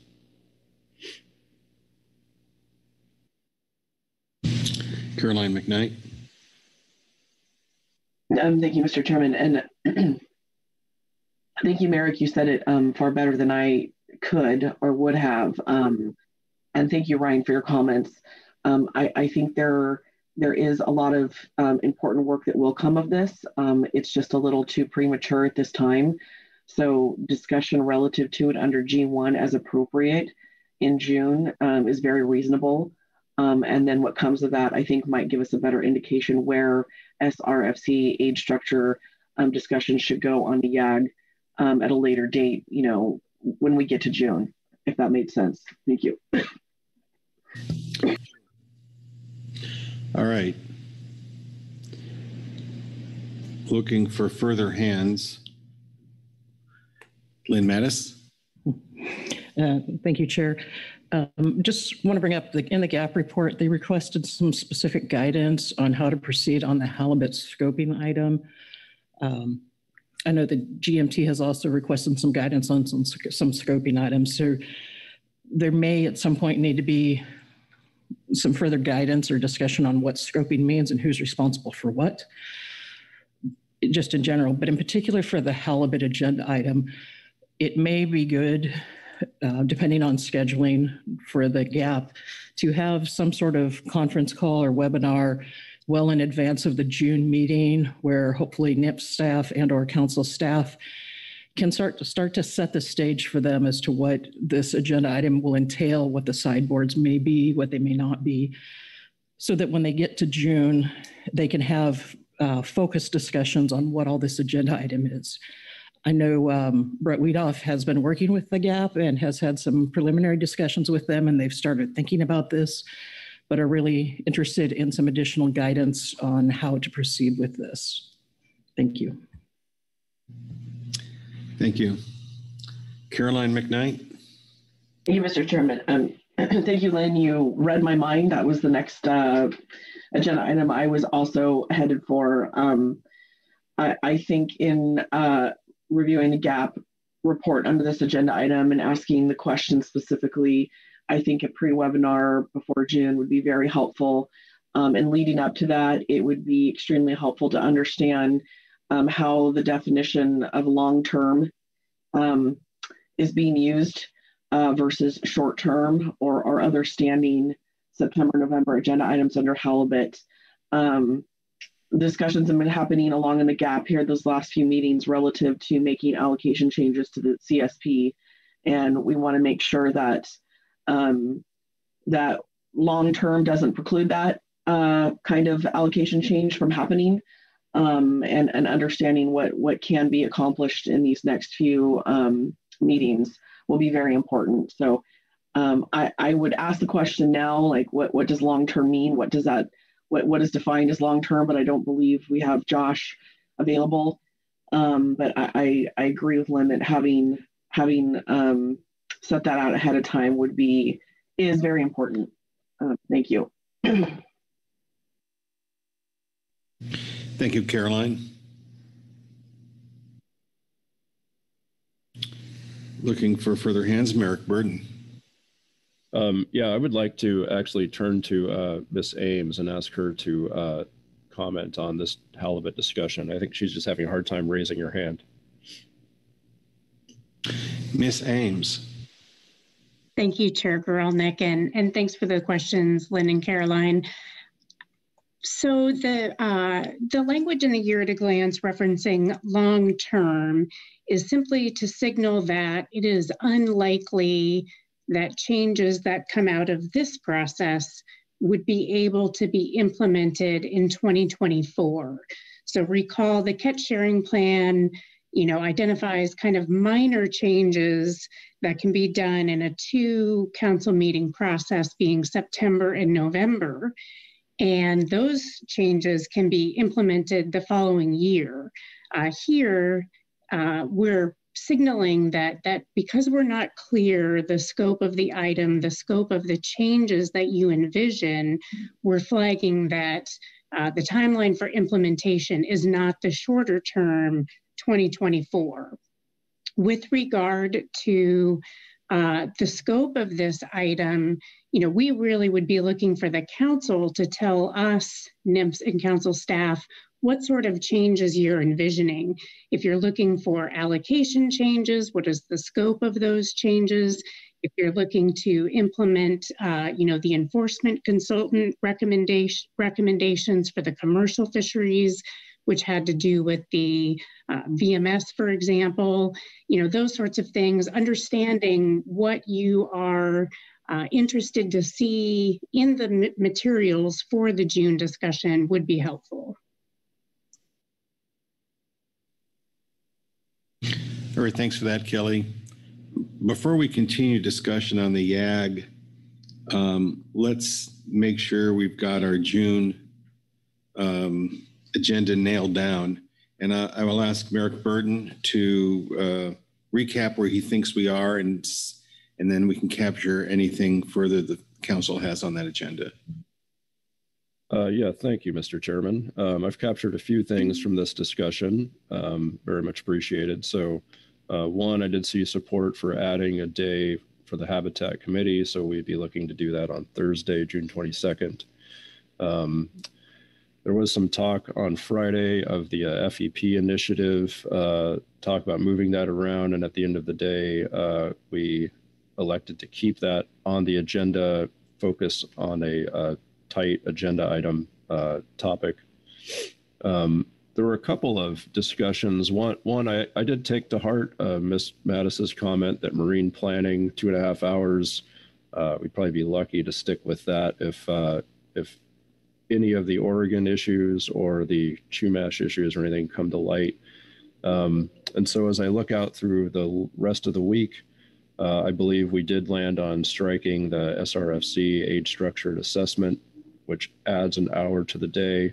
And so what I'd be looking to do is uh, perhaps spend two hours on gear switching on Friday and five on Sunday, Ooh. And then uh, add some more time for marine planning on Friday uh, with that trade-off. So that that's something I'd be looking to do in consultation with uh, other staff, of course. So um, that's where I believe we've landed on June. Uh, but if I missed something, please let me know. I'm going to look and see if we've missed anything. Uh, Caroline McKnight? Thanks, Mr. Chairman. My, my comment was in response to Kelly's um, Pacific Halibut comment. So I just want to, I guess I could make sure that somebody didn't have a follow up for Merrick on June. All right, so we'll come right back to you, Caroline. So I'm not seeing any other hands with regard to June, so, um, well, maybe, maybe not. Lynn Mattes. Uh, Sorry, uh, Chair. This does directly relate to June, um, not the, the agenda specifically. I think we're good there. The GMT asked for some very specific guidance on prioritization, and I just wanted to give them a quick overview of what I think. Um, I, I don't think EM implementation is something that GMT will need to comment on. The H4 harvest specifications and management measures planning, I believe the majority of that work will be council staff and NMFS staff outlining the timeline and process. And I don't think at this time the GMT should worry about the halibut long-term agenda item. At some point, they may get pulled in due to some groundfish nexuses with that, but I don't think they should be, be worrying about that one at this time. So those were just a couple of items to hopefully help focus um, the, the GMT and their work as they go forward. So thank you for allowing me that opportunity. All right, thank you. Uh, Ryan Wulff. Thanks. Just very quick, um, Merrick, you, I think you said it when you explained your vision for G1 a while back, but I didn't hear it in the summary. But just to clarify too, that there would be, even if you strike the age structured assessment for Sac River Falls Chinook, there would still be some uh, discussion related to that in the conservation objective agenda item. Thanks.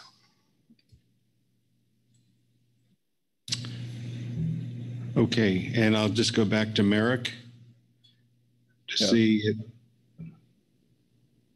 Yeah, thank you, Mr. Chairman. Um, I believe we've captured everything and just in response to uh, Mr. Wulff's comment, yes, that's consistent with my thinking is that we would, um, you know, in this paper, looking forward about how we're going to achieve these uh, conservation objectives for these two stocks.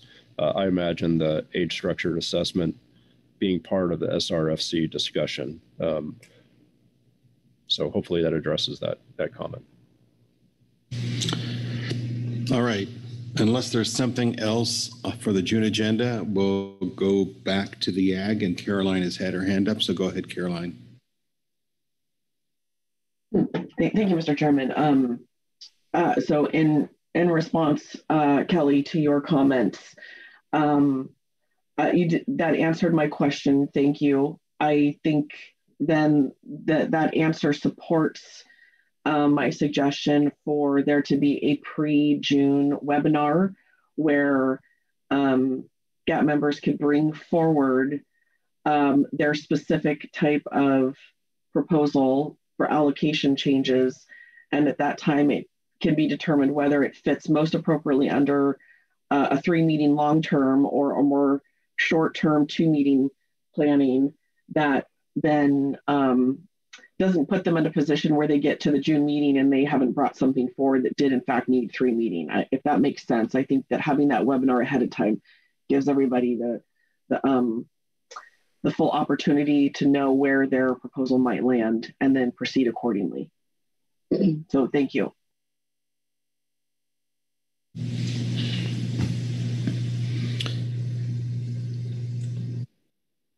Lynn Mattes, then Ryan Wulff. Uh, Good setup because my question may actually be one for Mr. Wulff. On the year at a glance, um, with the sablefish gear switching, it, if we do the IPPA, which to me sounds like a beer in June, and then we don't do a PPA until November and FPA in March, what would that do to the timeline for implementation? I, I know a lot of our public and the GAP had really wanted us to follow that September, be done in November, so that this could then be in place by January 1, 2025. I, I believe that was the date. Um, not doing P, uh, FPA until March, what does that do to the timeline for implementation? Ryan. Yeah, thanks. I think that's fine, right? I think we had said, I mean, I guess it depends on what your FPA is um, with that caveat in place, right? We had said if your FPA is done by March, um, that still allows us to meet that timeline of January 2025. I appreciate the clarification. Thank you. And Ryan, go ahead. Sorry, 2026. That's right. All right, further discussion, suggestions on the year at a glance? Ryan Wulff. Yeah. Thanks. Yeah, I have a, a, number of things on the year at a glance, uh, just to flag for folks. Um, I'll kind of go by FMP here. Um, don't have anything on CPS for groundfish. Um, we would uh, support eliminating workload in new management measure update uh, in September as well. Um, we we just did that in March. Uh, we won't have the ability to take on, I think, new workload until the next one is slated for March 2024. Um, we would recommend uh, potentially putting a shaded um, uh, range of alternatives there for the tier follow-on actions and gear marking. Um, not 100% sure we'll we'll get to um, ROA scoping, and and we have ROA PPA in March, and and so I think it might at least for this point just to put a shaded um, agenda item in September where we could either refine or, or develop the ROA potentially at that point. Uh, we'd also support um, unshading the um, stock definitions um, uh, phase two, uh, as well as um, unshading uh, what's the in September they, oh, I don't actually see there there's Oh, sorry, it's under other. I just consider it related to groundfish. The Office of National Marine Sanctuaries check-in. Um, we have heard from the sanctuaries that they'll be ready, they believe, for scoping by September. Um, and then on salmon, um, I think it would be helpful um, to add uh, an agenda item, I believe, for November um, on, on a couple things. We, in particular, um, the three-year reviews for the LCN and tule matrices, as well as the five-year review of the Sacramento uh, Winter Run uh, Chinook framework. Just as a reminder, our biological opinions do require periodic reports to the council about the performance of those harvest control rules for those stocks. So um, that would be good for uh, adding to the November agenda. Uh, and then it also might be helpful to have a, another Klamath Dam update in March of 2024, um, both uh, to supplement any discussion of interim measures uh, should the council decide to form a work group, um, but also because the first dam, as you heard from Jim Simondet, is scheduled to be removed in July 2023 and the drawdowns in the remaining of 2024. So just might be at least something to put on the ag just to keep track of. Uh, and then finally, uh, just a small um, clarification, the way the um, EEJ regional implementation is, is on for September, just to clarify that that put all, or assuming the council is interested, that is also when we would have a draft regional geographic strategic plan as well. So I, I think you could just combine that into, into the same agenda item and it's just a matter of wording there. And I'll stop there. Thanks. Thank you, Ryan. Heather Hall. Thank you, Chair Gorelnik. I'm sorry, Ryan. Could you repeat what you said about the LE fixed gear follow-on action that's shaded for March? Yeah, so I'm not suggesting anything on the March one. Uh, what I'm suggesting is that it would likely be challenging um, to develop a full range of alternatives for the items currently slated to be scoped in June as a part of that, so that maybe having a September uh, shaded agenda item for ROA only. I mean, so that would still keep the March PPA item. It would just allow at least the potential for us to have an agenda item in September if we needed to either initially develop an ROA or refine anything that came out of the scoping. That's all. Thank you. I, I appreciate and support that idea. Thank you. Merrick Burden. Thank you, Mr. Chairman, and uh, thank you, Ryan, for those comments. And I, am sorry I, I lost you there after a couple of them, and so I'm, I'm unfortunately going to ask you to back up a little bit. What I captured was uh, you you all support striking the September groundfish workload and new management, measures update. I uh, just captured uh, the earmarking ROA in September. Uh, there were a couple of other groundfish items. One about unshading stock definitions. I wasn't sure what that was about. There might have been one or two other things. And I didn't adequately capture your November salmon suggestion. Yeah, thank you, Merrick. Um, but we're just supporting, I think, I can't remember what the report was, but there was a recommendation to unshade the phase two stock definitions uh, scoping schedule for November. And I'm just noting that NMFS supports that. If the council wants to unshade that now. Um, and then for salmon, it was to add to the November agenda item, add to November agenda, excuse me, uh, the um, three-year reviews of the LCN and tule matrices, as well as the five-year performance review of the Sacramento Winter Run framework.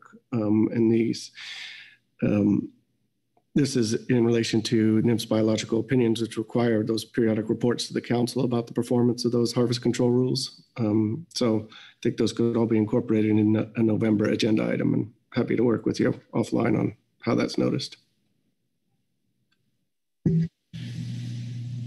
Merrick, do you have further questions there?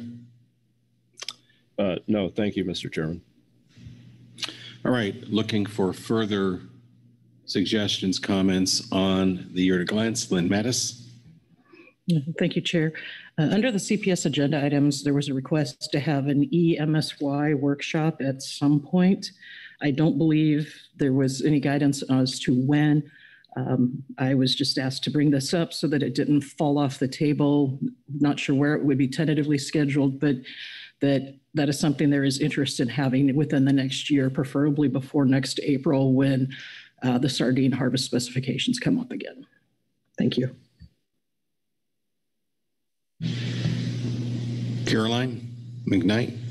Thank you, Mr. Chairman. Um, just uh, um, to touch back on Ryan's comments, um, I would support also, I think you said removing the workload and new management measure update from September, um, given the heavy workload associated with stock assessment um, work in September. I think that's um, appropriate in addition to the very thorough job we did um, earlier this year on that item. Um, and also support unshading the phase two stock definitions.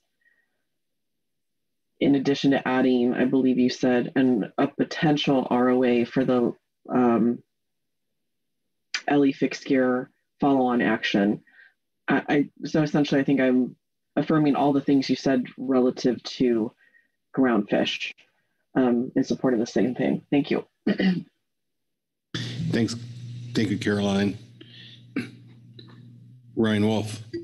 Yeah, thanks. I just I wanted to respond to Ms. Mattes's uh, request regarding EMSY. Not, I guess there wasn't a specific request, but I do want to note um, you know, we've had some additional discussions with our science centers, and, and, and I don't think we will be ready to discuss things like that or, or overall scientific priorities uh, within the scope of the current um, year at a glance, um, uh, at least not before June of 2024. Um, and, especially given the timing of the new benchmark assessment, which is scheduled for April of 2024, uh, work on EMSY is unlikely to occur um, between November of 2023 and June of 2024. Uh, additionally, the assessment process and the outcomes of that benchmark assessment are going to be valuable information and evaluation of sardine research priorities. So, so if we are going to schedule a council discussion, NMFS strongly feels it would benefit for having that after the benchmark assessment on sardines is completed in 2024. All right. Thank you, Ryan. Further input on the year at a glance. well, Merrick, I'm not seeing any hands here or online, so would you, would you please uh, recap where you believe we are in the year at a glance? Yes, thank you, Mr. Chairman. Uh, I think this was a helpful discussion. Um, Let's see, I captured a few things. Uh, Starting with September, uh, I heard suggestion and support for striking the workload and new management measures update under ground fish. Uh, I heard suggestion and support for adding the limited entry fixed gear follow-on and gear marking a range of alternative uh, item that would be shaded. Uh, and then Mr. Wulff also noted uh, under other on September that we should also make sure we make note of the geographic strategic plan and suggested that be combined with the EEJ regional implementation item. Let's see, moving down through November, um, there was a suggestion and support for unshading the phase two stock definitions. Uh, Mr. Wulff made note of the three-year review of LCN and tule and the five-year review of uh, the Sacramento framework. There might have been another stock in there. Uh, I believe I've captured that though. And let's see, moving down through March, uh, suggestion to add a Klamath Dam update in March, um, giving the timing at which the dams on the Klamath are scheduled to come out. Uh, then there was this recent talk about the uh, CPS EMSY item. Uh, I'm inclined to leave that off the YAG at the moment, but uh, I, I imagine that will come up again over the coming months about how to best take that one up. But I plan to leave that off the YAG for the moment. That's what I have, uh, Mr. Chairman. Uh, if I've missed anything, please let me know. All right. This is your opportunity. Any final comments, suggestions for the year at a glance? Or on the June agenda? I'm not seeing any hands here. Merrick Burden, so what say you on this agenda item? I believe you've completed your action on this agenda item, Mr. Chairman. Thank you. All right, thanks very much. And unless someone has, wants to bring back another agenda item, there's only one matter left for us here today. Uh, Vice Chair Pete Hassemer. Thank you, Mr. Chair. Even though my flight is very late this evening, I move we adjourn now. Seconded by Heather Hall. All those in favor say aye. Aye. Aye. Aye. Aye. Abstentions. Motion passes unanimously. Thank you, everyone, for the hard work this week. Travel safely and be healthy. And we'll see you in Vancouver.